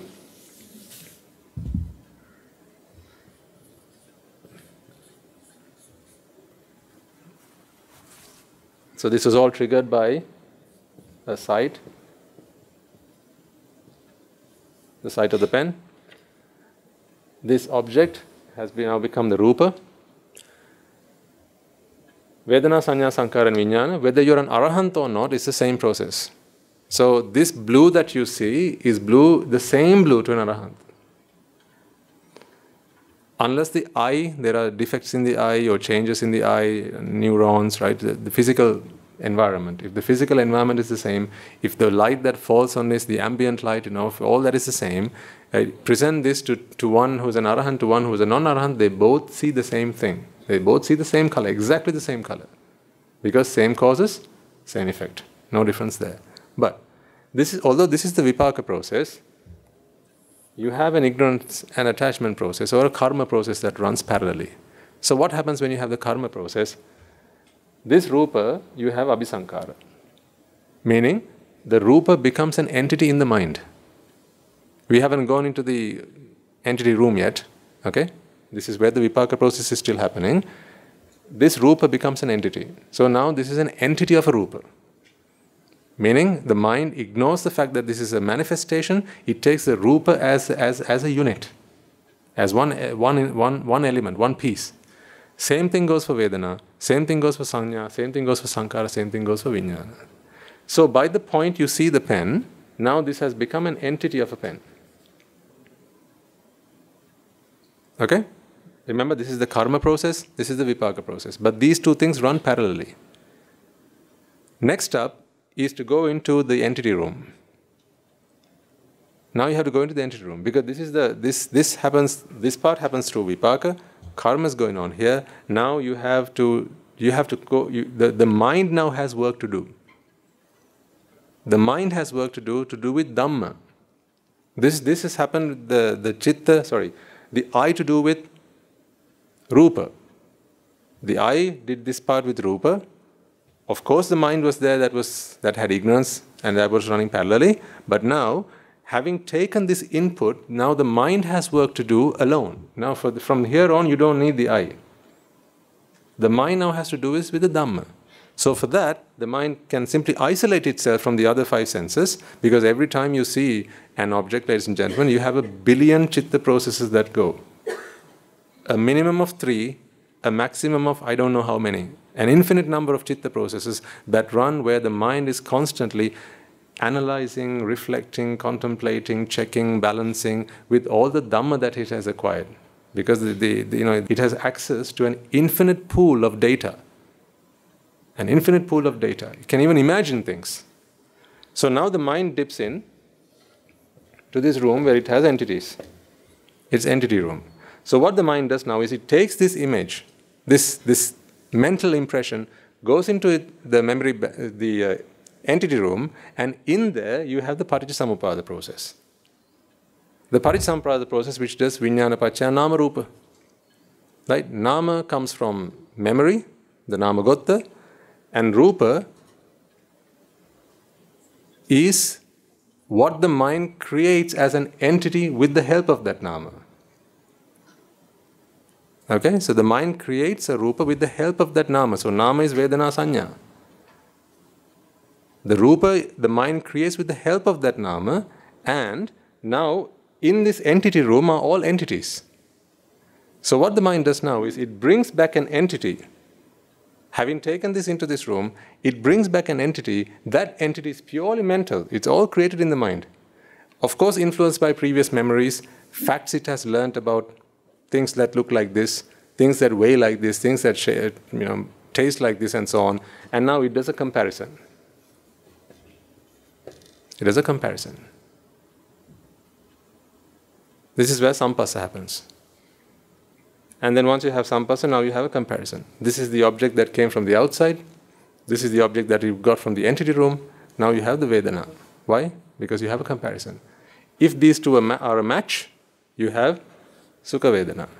If these two are a mismatch, you have Dukkha Vedana. If it's still questionable, now you have Upeksha Vedana. Still uncertain which way to go. We'll talk about this later on another day in more detail. What I'm trying to really the gist of this is to help you understand that the mind is dealing with entities here because the mind is ignorant. The mind has no Dhamma. The mind that is without the Dhamma sees the world as entities, and therefore, even when presented with a vipaka, which is merely a manifestation, right, you project your entity that you got from your entity room. Remember, this is, folks, there is no such thing called a pen in the outside world. All of this is Patavi, Apo, Tejo, Vayu. A pen is a creation of the mind. Remember, when, you, when the mind creates something, it has access to all the information that it has. Because it's a mind after all. Where do memories exist? Does, it, is, is, does memory exist in a pen? Look at, think about this for a second. Now, here you have these markings, don't you? Hmm? You bought this from, when you bought it from the shop, it had all these markings on it. That you put into your memory. Over time, this marking it gets it gets rubbed off and it, you know it, it comes off. Say two years later, you look at this pen and now you say the markings come off. Okay? You say that you know you used to have this marking, it had expo on it, but now it's not there. How are you able to make this comparison? Because you have it in your memory. Memory of what? Memory of a pen. You have a memory of a pen. Why do you have a memory of a pen? Because they are entities. Your mind creates an entity when it puts stuff into your memory banks. So you have memories, you have memories of entities. So therefore, in the present, the mind doesn't have, you know, it's like this this entitification happens in the present moment. Okay? So, even when we talk about memories, the mind puts these mental images that it, that, it, that it perceives into its memory, but they become entities when the mind withdraws from that. When the mind pulls back memories, at that point they become entities. What I'm trying to explain to you is the reason that you see, if, if there was part of this missing, ah, let's take a leaf, it'll be easier to explain this. I, I show this to you right now at the beginning, and you say, okay, that's a leaf, that's good. Now this goes into memory. Okay? Now I show this to you again later, and now this part of the leaf is gone. So now you say that this is not complete because half of this is missing. This is happening because in your memory, you have this. That's, there's nothing wrong with that because an arahant can also tell the same. Okay? But when you create this in your mind right now, you create a leaf because I'm not actually presenting a leaf to you. All I'm presenting to you is Patavi, Apo, Tejo, Vayu, the four basic elements. That's what I have in my hand. But your mind pieces all these bits of data together and creates a leaf. Yes, you create a leaf. How do you know this is a real leaf and not a fake one? Or shall I ask another way? How do you know this is a fake one, not a real one? Which one is it? Fake or real? You don't have that information yet. So when you look at what about these flowers? Are they fake or real? What are you relying on? Are you relying on what comes through your eyes, or are you relying on your mind doing all the math- mathematics, the analysis, the content? Is the mind doing that, isn't it? So the mind tells you this is real and that is fake. But couldn't you be fooled? You could, yeah?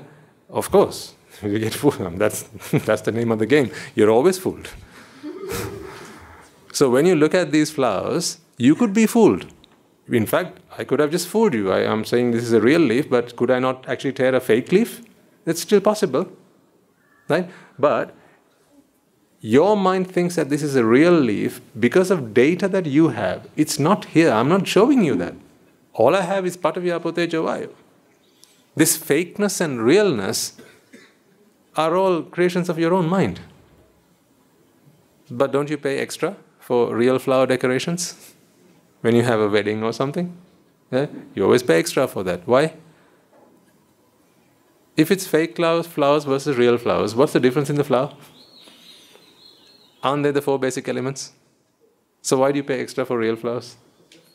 Exactly. Thank you, madam. I'm glad it's not I who said that.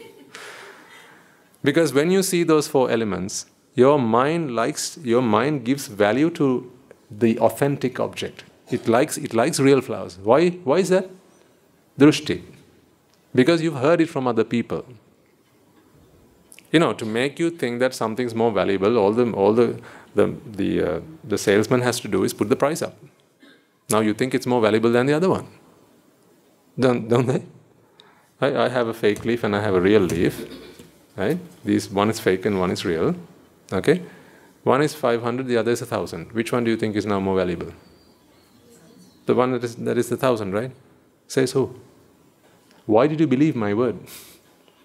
I'm the one who said that one's 500, the other's 1000, and now you think that the 1000 one is more, somehow of more value. Just because I put a higher number on it, a higher price on it. What if I got it wrong? I put the label on the wrong one by mistake. Now, now which one's more valuable? it was by mistake. I actually made a genuine mistake and put the label, label on the wrong one. No? Aren't there times where you go you go shopping and you pick things up and you think, oh, that's a bargain? You take it to the till and they go, sorry, wrong label. no, we, that was mispriced. And then you start complaining. Well, if it's that price, I have to get it at that price. How dare you? I have, if you put the price on now, I want to buy it. Hmm? So, how, how come then, you know, you see, these values that we assign to things are all mental. That's why gold to you might be more valuable than silver. Says who? Who says gold is more valuable than silver? What does gold do to you that silver doesn't? Does it put, you, put you to bed at night? Does it sing you a lullaby? What does gold do to you that silver doesn't? Think about it. Why is gold more precious than silver? Why are diamonds more, more precious than, than gold? Now you'll say because one's more scarce than the other. Not so. There's more gold in this world than there are diamonds. I beg your pardon. There's gold is actually rarer than diamonds. Did you know that? Gold is rarer than diamonds, but the price for diamonds is artificial. They've created an economy where diamonds are, are, are, are priced higher than, than gold is. But if you take the, the whole world and all the the if you uh, the, uh, the the actual world that we live in, diamonds are more in abundance than, than gold. Gold is much more rare than, than diamond is. But diamonds have more value than gold. Says who? Simply because they put a higher price on it. So therefore now when you want to give a gift to someone, you feel that you are giving them more love by giving them a diamond rather than giving them gold. Madam? So actually nothing exists in this world, that? Oh. That's the million dollar question. I'm, not say, I'm not saying that nothing exists in this world. Okay? So that's where we have to draw a line. What exists in this world are the four basic elements. You know, we can talk about, we can say that all there is in this world is energies. All there is is energy. There's condensed energy, energy that is more concentrated. Right? Then there is energy that is less concentrated, right? More spread about. When we say something's a physi- something's a hard object, there's more energy concentrated. So there's a higher density of energy here. When something's soft, like the air, right, there's less density of energy there. That's at the very, very basic level. If you take one step further, you can say what there is is Patavi Apo Tejo Vayu. Right, one of these days we'll go into more detail as to why it's called Patavi, why it's called Tejo, why Vayu, why, and so on. Not really relevant to understanding the Dhamma, but it simply gives us an understanding of how the world is constructed and what's really out there. So the four basic elements, they are there. The thing is this though, how do we know that the four basic elements are there when you can't perceive them? You see, I present to you the four basic elements, but you see a sight, don't you? You're seeing color. I didn't present color to you. So, how do you know that the four basic elements are here? You're going to have to take my word for it. You have to take the Buddha's word for it on that aspect. Because there is something here. What we don't know is whether there is sight here. Well, actually, we know that there is no sight here. Because, you know, as you put your hand on it, you come into contact with something, right? I admit I agree, I know what you're thinking. Some of you are thinking this already, so I'll say it out loud. But this physical touch is also a sensation, isn't it, Swaminathan? So how can you say whether this actually exists? I, I know, I know. I know what you like. So how can you actually say that this exists? That's what I'm saying. You're going to have to take my word for it, not my word for it, his word for it, that the four basic elements are there you know, this can only be perceived by the mind that has the wisdom of what you call the anavarana jnana. It is not something that anyone besides the Buddha can actually can actually tell you. So then you might wonder, well, how do we attain nibbana if we have to take what the Buddha says by blind faith? Should we just take it just because he says so? How does how does one get to nibbana like that? I thought I thought Buddhism was scientific. I thought Buddhism makes makes sense. This is a problem you'll have. The deal is this you are not attached to the four basic elements, so who cares? So, the only reason that we have science and Buddhism as two different philosophies, two different schools of study, is because science is still working its way towards Buddhism, Buddhist philosophy. The day that these two things are the same, you, you will no, no longer have something called science and Buddhist philosophy because you don't need two things that do the same thing, right? If this is a pen, why call this another name? If they both do the same thing, let's just call them all pens. So, as the gentleman says, right, science is beginning to understand that what seems real is not real. But you know, this kind of science, not the Rupa Vedana Sanya stuff, the, the, the fact that there is no color has been proven by science. Science accepts that there is no such thing called color. But there are pigments. What pigments do is not give us color. What pigments do is they reflect light waves not light waves, really, you can call them light, electromagnetic waves. We call it light waves because it falls within a particular spectrum of the electromagnetic spectrum. These are the waves that are sensitive, that the, the, that the rods and the cones in the eyes are sensitive to. You know, we see some waves in the spectrum, other animals see another spenders of the spectrum. So how do we now say that there are no such thing called devas and brahmas and spirits and demons and so on? Just because we can't see them, how do we say that they don't exist? See, once you begin to realize that this is the way the world is, you know, we are simply a series of causes and effects. Our limited view of the world, you know, is actually very, very limited. We see very little, we know very little about the world out there. Now, therefore, it is unreasonable to actually cast judgments about what is there and what is not there. Even when what you think is there isn't there, after all right? Even when you, th- well, all the things you've been thinking throughout your lives, you thought your mother was there. But now you're beginning to understand that there is no such thing. You've got to take this the right way. Because if you think there's no mother, then you go stab someone and you say, no, that is not a sin. Why, is that, why should that be a sin? I haven't stabbed my mother because there's no such thing called a mother. Remember, sins and merits, they, are also, they also happen only in the mind that has no Dhamma. That's why an arahant does not commit sins, an arahant does not commit merits. So, merits and sins, they are both done in the mind because of intention. When the mind has no dhamma, the mind begins to entitify physical, entitify elements. See, what is theft after all? Think about this. I think if you understand this, you will understand the rest of it. Or at least you'll begin to. Theft, stealing, why can an arahant not steal? We've spoken about this in the past, but I'm reminding you again because it's, it seems prudent to talk about it right now. Why can an arahant not do a sin? Why can an arahant not do theft? What is theft? Theft is taking something that belongs to someone else without their permission. Okay? What we have here are the four basic elements. Who does it belong to? In, the, in real absolute terms, who does these four basic elements, belong to? No one. It doesn't belong to anyone. Because if you said it belonged to me, if I said this belonged to me, what am I? This body is the four basic elements, and the mind is simply a mind. But in the mind, I think that I am I, myself, and I think that this object belongs to me. It's only a thought. I think. I think. It's my perception. Now just imagine I'm an arahant. No, no, no, cut that part. no, no. Very dangerous. yeah. Let's say you are an arahant, okay? You are all arahants, right? You are all arahants, so you don't feel that this pen belongs to you.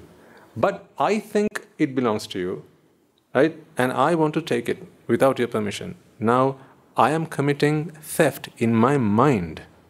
Theft is not really happening in the outside world, it's only in my intention. See, that is why Punya Papa Pahinassa, who is an Arahant, an Arahant is incapable of committing theft because they don't perceive the world as, as belonging to anyone, because there is no one to belong to. They understand that this is simply part of Yapo Tejo Vayu. You are also part of Yapo Tejo Vayu.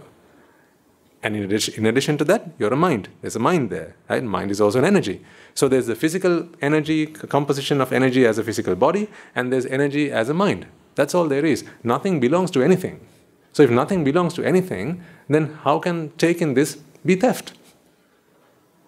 So theft does not happen out there. Theft only happens in in my mind. But remember, when it happens in my mind, jati is going on in the mind. Because otherwise, how would there be entities? So, because jati is going on in the mind, now there is theft, and therefore karma is done. Now, that karma then goes on to become your vipaka. So, therefore, the karma of theft is happening, and therefore, the vipaka of theft would ensue. All of this happens in the mind. There is no such thing called theft in the, in the absolute terms. But if you steal, you're going to get you're going to go behind bars because in a conventional world that we live in, People see the world in a very conventional way. People see the world in a two dimensional way. That is why we say the minds that have no Dhamma are crazy. I need you to understand this so that you can free yourself from suffering, that's all. If you are attached to the color green, you will always suffer because of that. See, I can make you suffer if you are attached to color, uh, the color green simply by taking this away. Because you want to see green, I take it away. Now you suffer. Why do you make why do you leave it for me to be able to make you suffer? Why do you let me make you suffer? Hmm? Only because the Dhamma, you're lacking in the Dhamma. If you begin to understand that green is not, an, not something in the object, it's simply something that you perceive. Right? Now, if it's not in the object, me taking the object away shouldn't bother you. I know you will say, of course, but Swaminath, if you take the object away, I can no longer see green. Yeah, you'd say that.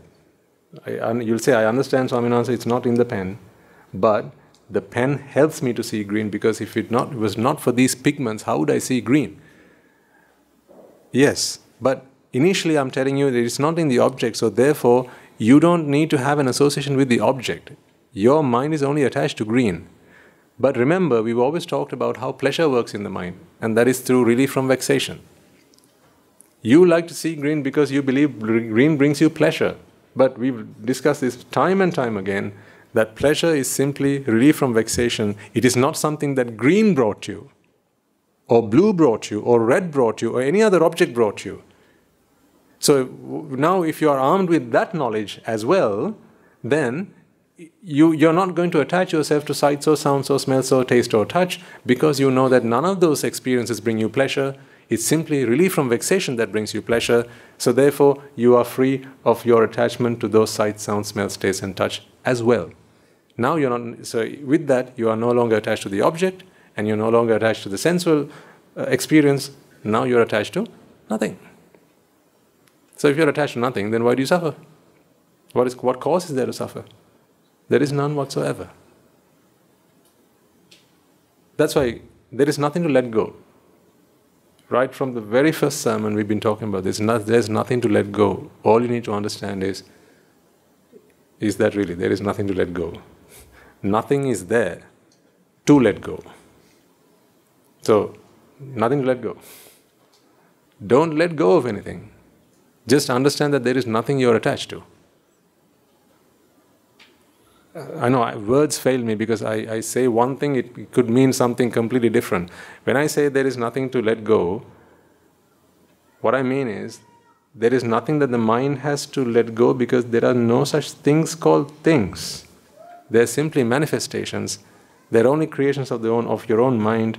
So you don't need to let go of physical objects. You don't need to let go of any any entities because there are no entities. But as you first start your making way in the Dhamma, making progress in the Dhamma, you might think, well, if I have to become a monk, if I have to become an anagarika, should I let go of my, my house? Should I let go of my property? Should I let go of my wife? Should I let go of my children? Should I let go of my wealth and all these things that I that own, that I own and that belong to me? No, what you need to do is understand that none of these things actually belong to you, and none of these things are there in the first place. So now, what are you attached to? See, I ask any mother here who might be attached to her child. Okay? Where's that child of yours that you're attached to? Where's the child that you're attached to? This is your child. What's here? The four. You just have the four basic elements. This is just Patavi, Apo, Tejo, Vayu. In addition to that, there's a chitta, that's just an energy. So, where's the child? So, what am I asking you to let go?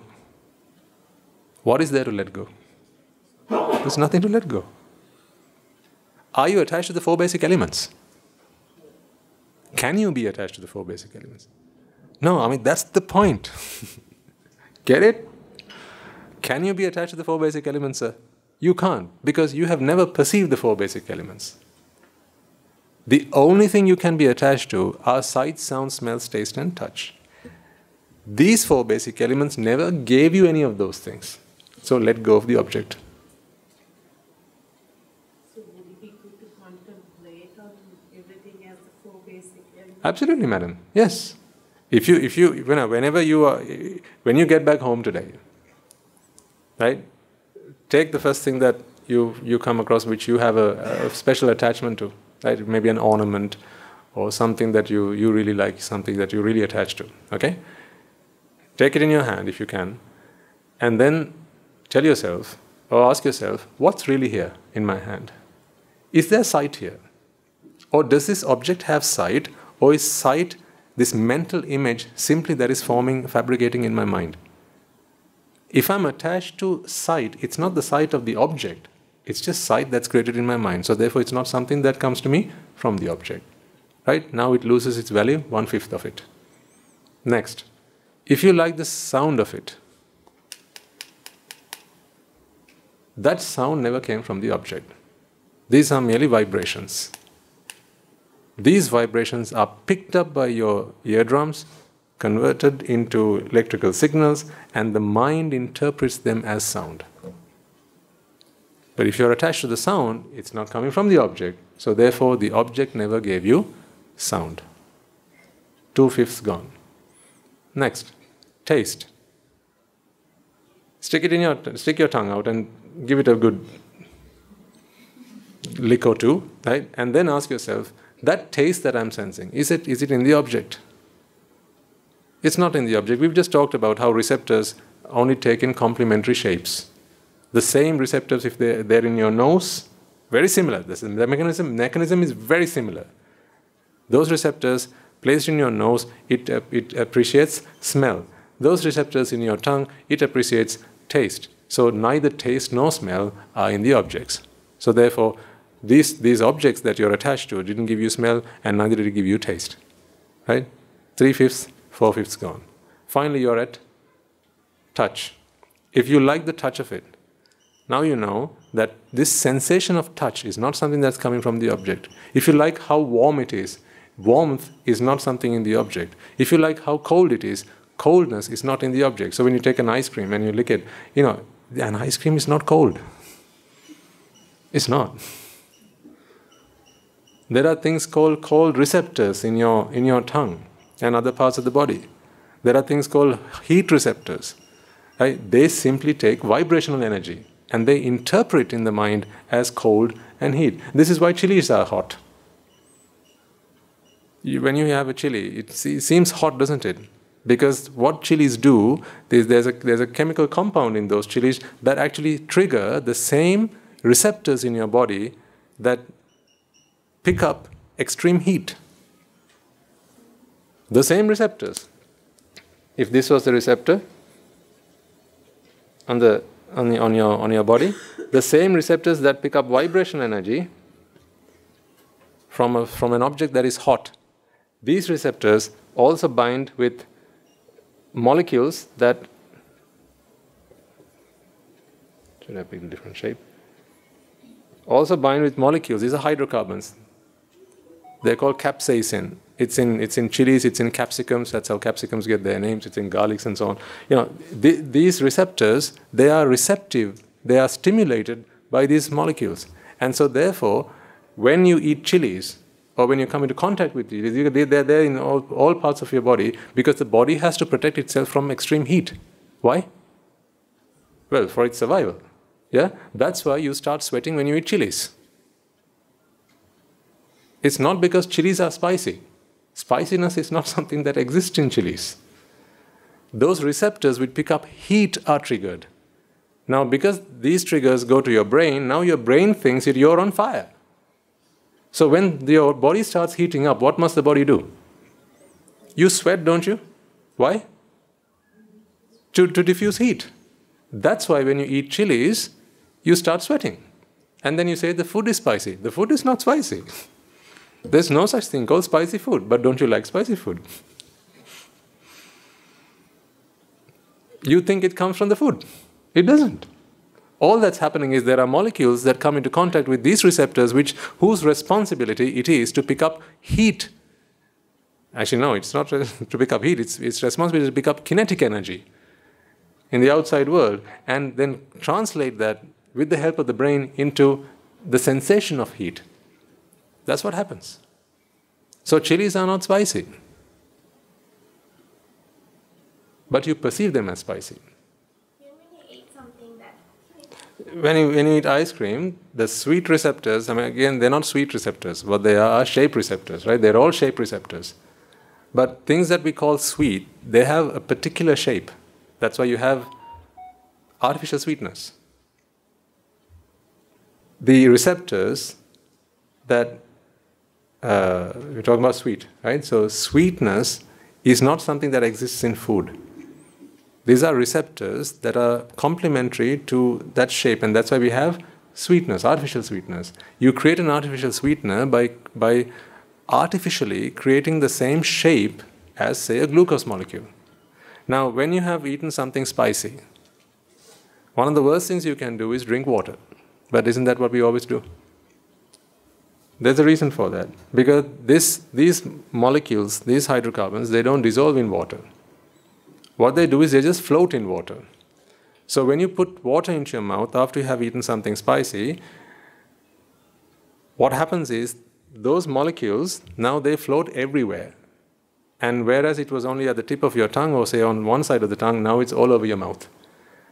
That's why uh, something better to do in those instances is drink something that is fatty. Maybe milk. Milk has fats in it. Ice cream. Ice cream does not soothe you because it's cold. Ice cream has fat in it. So what fat does is it dissolves that those hydrocarbons and then you, ingest it and so on. You can remove them from, from the tip of from, from your tongue, right, or your, your oral cavity. But water does not no such thing. Water simply, you know, they, those molecules just float in water. They don't dissolve in water. In fact, they, they, they're not, those compounds don't break down in water. They just float in water. So one of the worst things you can do when you had something spicy is drink Drink water. But isn't that what we always do? It's better to drink some milk or take a lick of an ice cream, that's okay because it has fats. And fats, they're, they're soluble in fats. So, what happens when you drink, uh, when you put something cold on, on, your, on your tongue, is your, there are cold receptors in your tongue. Those receptors start picking up the cold sensations, right? And now you have two types of signals going to your brain. There are the signals that, uh, that have just been triggered that give heat, and there are the signals that have been triggered because you have put something cold. Again, I keep saying put something cold. It's not the something that is cold, okay? Because coldness is something that you perceive in your mind, but you have both these stimuli that's going to the brain. And of course, the brain can only perceive one at one time. So when it starts taking the cold stimulus, stimuli, then that's going to be more prominent in the brain. And therefore, you start sensing that more so than the spicy stuff.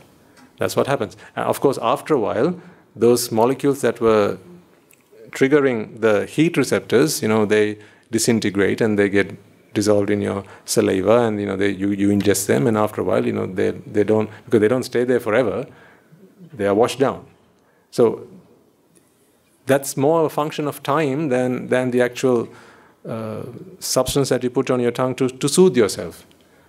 But in any case, what we need to get from this lesson, because I don't want this to be a science lesson, right? What I'm trying to get across to you is how what you believe you're perceiving is not really out there.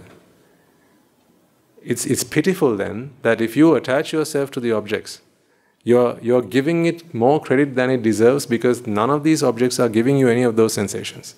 There is nothing that is of good taste, nothing that is beautiful, nothing that is that sounds good, there's nothing that smells good, there's nothing that feels good out there.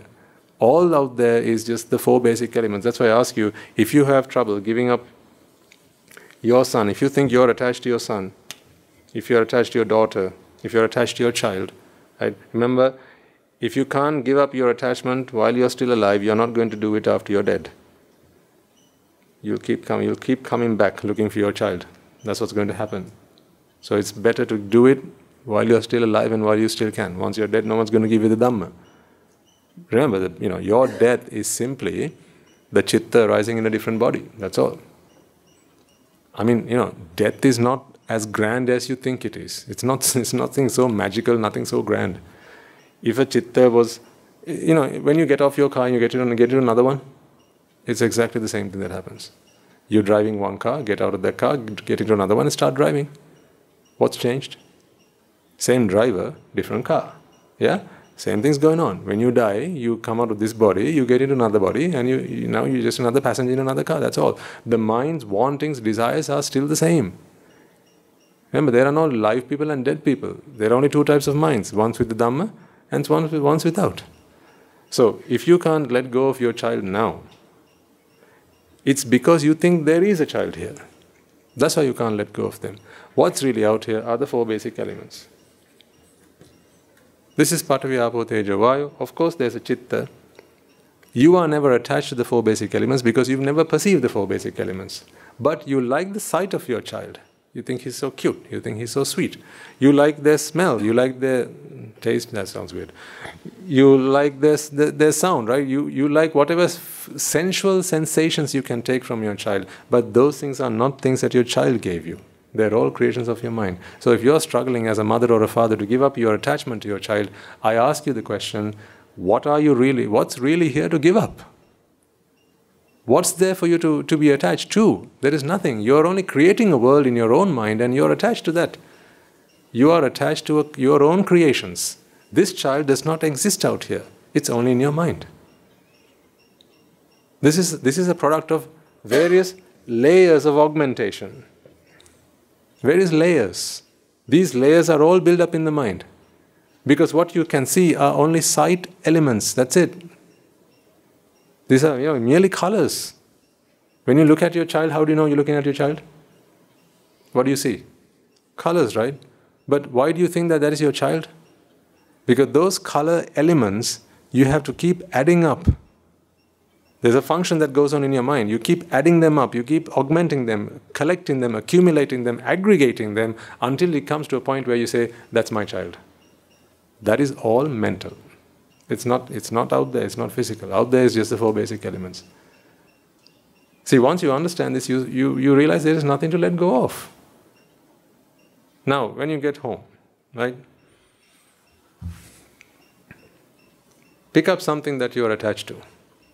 So you can do this as, as a bit of homework. Just pick up something you're attached to. Right? If you're attached to an ornament, you're attached to a piece of cloth, you know, some clothing, right? Maybe it's a hat that you like, or some flowers, or maybe your pet cat. You pick up whatever you, you're attached to, and go through this process. Ask these questions of, from yourself. What am I attached to? Right? This is your cat. Right? You can stroke it a few times so that it stays there. And after it, ask yourself, right, cat, what's here? Is there really a cat here? You like what it looks like. Right? You like the little whiskers that come out of its mouth. And you, you like what it looks like. It's very fluffy, you might think. This is just the four basic elements. Is there a cat here to be attached to? If there's simply the four basic elements, and there's no color either, there's no smell here, there's no taste here, there's no touch here, these physical sensations that you're getting from your cat, they don't exist there. They're all creations in your mind. Now, what do you have to do with this cat? What's your attachment to the cat? All here are just the four basic elements. Let the cat go. I mean, don't kill the thing, just, just put, let it go. Because if you are attached to, you know, you're never attached to the four basic elements, you are attached to a cat. Here's the point you are attached to a cat, but a cat does not exist here. So when this poor thing runs away, now you, you are worried. So you put a poster up saying cat missing, you know, reward given to whoever can give me information to find the cat. You go from you know door to door asking your neighbors. You have sleepless nights. If your cat goes, I mean, I'm not even talking about your child. If your cat goes missing, don't you have sleepless nights? Experience? Yes, yes, yes, yes. You know what I'm talking about. And one day your cat's going to die. Either you're going to die, your cat's going to die. Either way, you're going to miss them. Then, if you think that you still have a cat, now when your cat dies, you are the owner of a dead cat. You, now you're disappointed, you're sad. Piyahi vipayogo. The problem is, where is the piyahi? Where did that come from? This is all a product of jati, that's what I'm saying. That you created the cat in your mind. When the cat is dead, here's the only thing that happened. The four basic elements are still the four basic elements, no less. There's no longer a chitta here. Are you attached to a chitta? Is it a chitta you're attached to? Or is, are you attached to the cat? The cat. You're attached to the cat. Where's the cat? Sir? Do we also attach for like I, me, mine? Like this Of course. Yeah. You know, there's so many cats out there. Yeah. there's so many cats out there. Yeah. So and and then you're attached to your cat, right? So this is because of your sense your sense of a self. So just as you ask yourself, where is the cat? Right? Ask the same question about yourself. Go stand in front of the mirror and ask yourself, who's that in the mirror? Mirror, mirror on the wall. Who's the stupidest of them all? And then you'll see the answer in the mirror, staring right at you. If this is merely the four basic elements, what is this? The four basic elements. Can you be attached to the four basic elements? You can't because you never perceived it. You've only perceived sight, sound, smell, taste, touch. These are all creations of your mind. You've never perceived the four basic elements. You only know about the four basic elements because the Buddha preached it. That's why. You can't attach yourself to something you don't know that exists. But there's something a bit more than that, which is the chitta. Any of you attached to a chitta? Shall I give you a pet chitta to keep? Hmm? No one's, you're not, are you attached to a chitta or are you attached to your son? You're attached to your son, not to a chitta. And it's not even a single chitta, these are chittas that arise and pass away. So, which chitta are you attached to, I ask you? Which chitta are you attached to? Because a chitta does not even last for the time it takes for you to identify it as a chitta. I mean, chittas rise and pass away at, at a rate that you can never perceive them. They're so fast. Yeah, so, you know, even when you put your hand out to, to grab hold of something you say you're attached to, it's changed. It's not what you, what you put your extended your arms out to, to, to attach or to hold or to come into contact with. So it's all so transient. I'm not talking about impermanence because there is nothing permanent to be impermanent. Right? I'm not talking about impermanence. I'm talking about manifestations. So, if you can let go of the cat by contemplating that way, then look at yourself in the mirror and ask, ask who is there in the mirror? Oh, who's, who is this? This is also the four basic elements. There's a chitta here. But this chitta thinks that this is I, this is self. That's the chitta gone mad. That's the chitta gone crazy because you entitify what you see. You think this is me, you think this is my mind, you think this is my body, the same way that you thought this is a cat. Entitification. See, therefore, when you lose a part of your body, now you suffer. Just like when you lose your cat, you suffer. Jati is the cause of all the 11 great fires. Now, talk about death for a second. What is death? The death of whom? A chitta? No. Death of the Four Great Elements. Ever heard of that? Have you seen that movie? Death of the Four Great Elements. Why was that movie never made? Because the four great elements, they don't die. The death is not a, not a concept that makes sense when you talk about the four great elements, because the four great elements were always there. You, you, the four great elements cannot die. Chittas, they don't last enough, long enough to die. They arise and pass away so rapidly, so you, you can't hold on to a chitta. So what dies then? Exactly. Your entities die. That is the problem. It's like, you know, you build a sandcastle on the beach, and the sea comes in and takes it away. Because the sea doesn't see a sandcastle, the sea simply sees sand. It takes the sand away, it washes the sand away, and now you cry because your sandcastle has just been demolished. Stupid or stupid? Which one? Don't tell me both. This is why we suffer. So, if you begin to understand what is really out there, right? If you understand the truth, we come back ultimately to where we started this conversation. There are only two types of minds in this world gone, those with the Dhamma, and there's no Dhamma. Those with no Dhamma, suffering. Those with the Dhamma, no suffering. This is all there is. I have I started here and I explained to you how this is possible. Why it is that if you have the Dhamma there is no suffering, and why when there is no Dhamma you suffer. Because when there is no Dhamma, you see entities. You can't stop at the four basic, elements. Remember the Venerable Sariputta Thera once said, I can look at a log and I can contemplate, I can see that all there is is Patavi, Tejo, Vayu, and Apo. Patavi, Apo, Tejo, Vayu. I can, I can reflect on that. I can, through my wisdom eye, not his physical eye. The physical eye, I cannot see Patavi, Apo, Tejo, Vayu. Through his wisdom, he said, I can see that there's merely Patavi, Apo, Tejo, here, not a log of wood. That's what he said.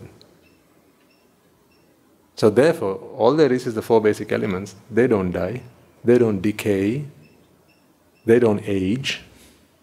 Aging is a concept that is reserved for entities. Death is a concept that is reserved for entities. Breaking down, again, a concept that is, or decay, a concept reserved for entities. Distancing yourself from them, from what? The four, you know, can you distance yourself from the four basic elements? Dukkha, for the four basic elements, try it. Hmm? This, four basic elements. What about the hand holding it?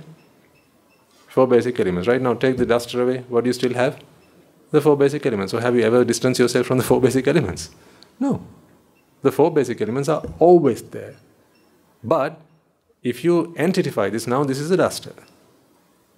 Now, if this gets taken away, now a duster has been taken away from you, not the four basic elements. Now you suffer. You don't like dusters. Someone comes and puts a duster by your side. What's just come to you? In real terms, the four basic elements. But in your mind, a duster. You don't like dusters. Now you suffer. See, piyehi vipayogo dukkho. Apiyehi sampayogo dukkho. Yam picha nalabati tampi dukkha. Hmm? You like dusters and they don't give it to you. Yam picha nalabati.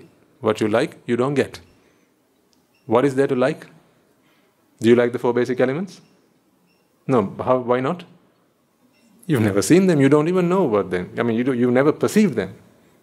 Right? But what there is are simply the four basic elements. But yam pichang nalabati. Why nalabati? Because if you think that this is an object, now it can be taken away from you and not given to you. And it doesn't simply have to be physical objects, it can be anything. Respect. Yam pichang nalabati. Love. Yam pichang nalabati. All creations of the mind. Do you think people respect you? Or do they disrespect you? Someone walks up to you and then they give you something with both hands. Is that showing respect? Now, this is not in a conventional sense. I want you to think of it in absolute terms. Who says that this is showing respect? Exactly. This is just a drushti. But if you have that, remember, drushtis are all used in creation of mental formations. Right? It's not, the, it's not in the vipaka process. It's all creations of the mental, the mental image, the mental analysis that comes later, subsequent to the actual vipaka object. That's why I said these are the layers that you keep adding on. So you walk into the room and people stand up. You think, ah, oh, they're respecting me. Says who? Let's just say in one culture, when people stand up, it is to say that you should leave the room immediately. They don't like you very much. Right? Now, now, so who? Which one's the respect? Standing up or not standing up? Is respect an intrinsic part of an action? No. If someone holds something in both hands, is that showing respect? No. You can think of it as, as, as showing respect if you have the drushti.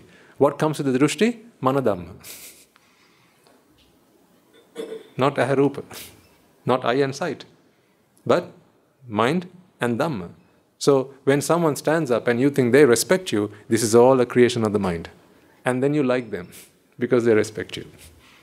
If they don't respect you, you dislike them. Now you suffer. Yam pichang nalabati. right. I don't know how people live like this, honestly. Last one. They're qualities. They're not entities, but they're qualities. So, kindness Take kindness. Kindness is a quality, it's a quality of the mind. So, kindness is a quality. It's not a fixed quality, nothing is fixed. But kindness is a quality.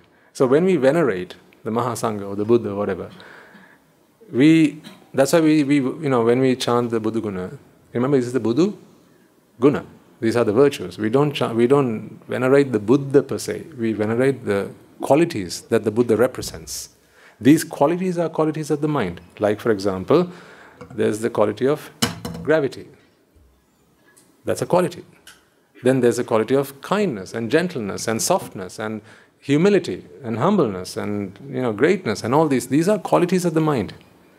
So the, the mind, there's raga. Raga is a quality, but we don't venerate that. We try to rid ourselves of that. Dvesha is a quality. Right? Atta- attachment is a, is a function of the mind which comes out of ignorance. Greed is a quality. We don't venerate that. We want to get rid of that because it causes us suffering. But charity, that's a quality. Generosity, that's a quality.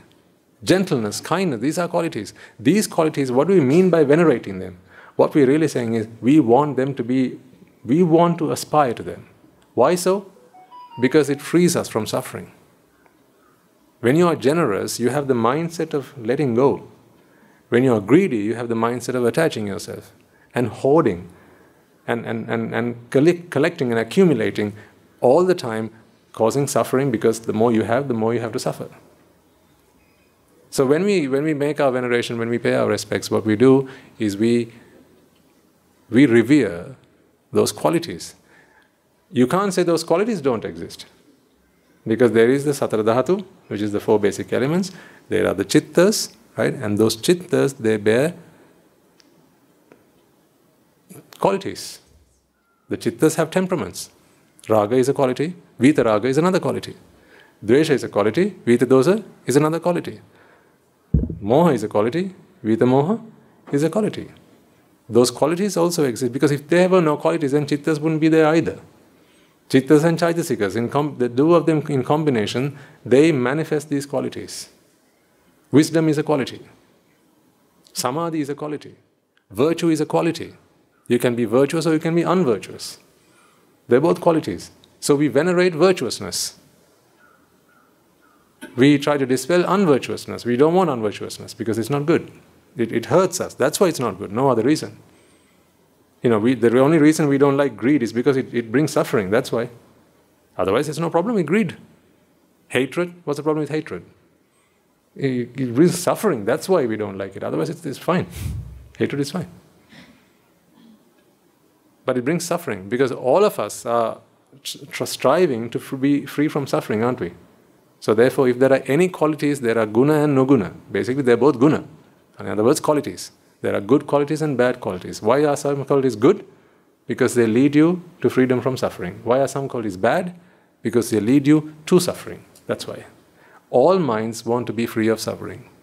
Sabbe satta bhavantu sukhitatta. All, all minds wish to be free of suffering. So if all minds wish to be free of suffering, then all minds must aspire to, to, to acquire the qualities that lead them to freedom from suffering. That's why we venerate them. Veneration is not merely bringing our hands together and saying sadhu sadhu. Veneration, as we talked about the last time we had the Saturday session, is to try and remember we talked about the dhatu, the, the depositing the uh, the relics and so on, and why we do it, right?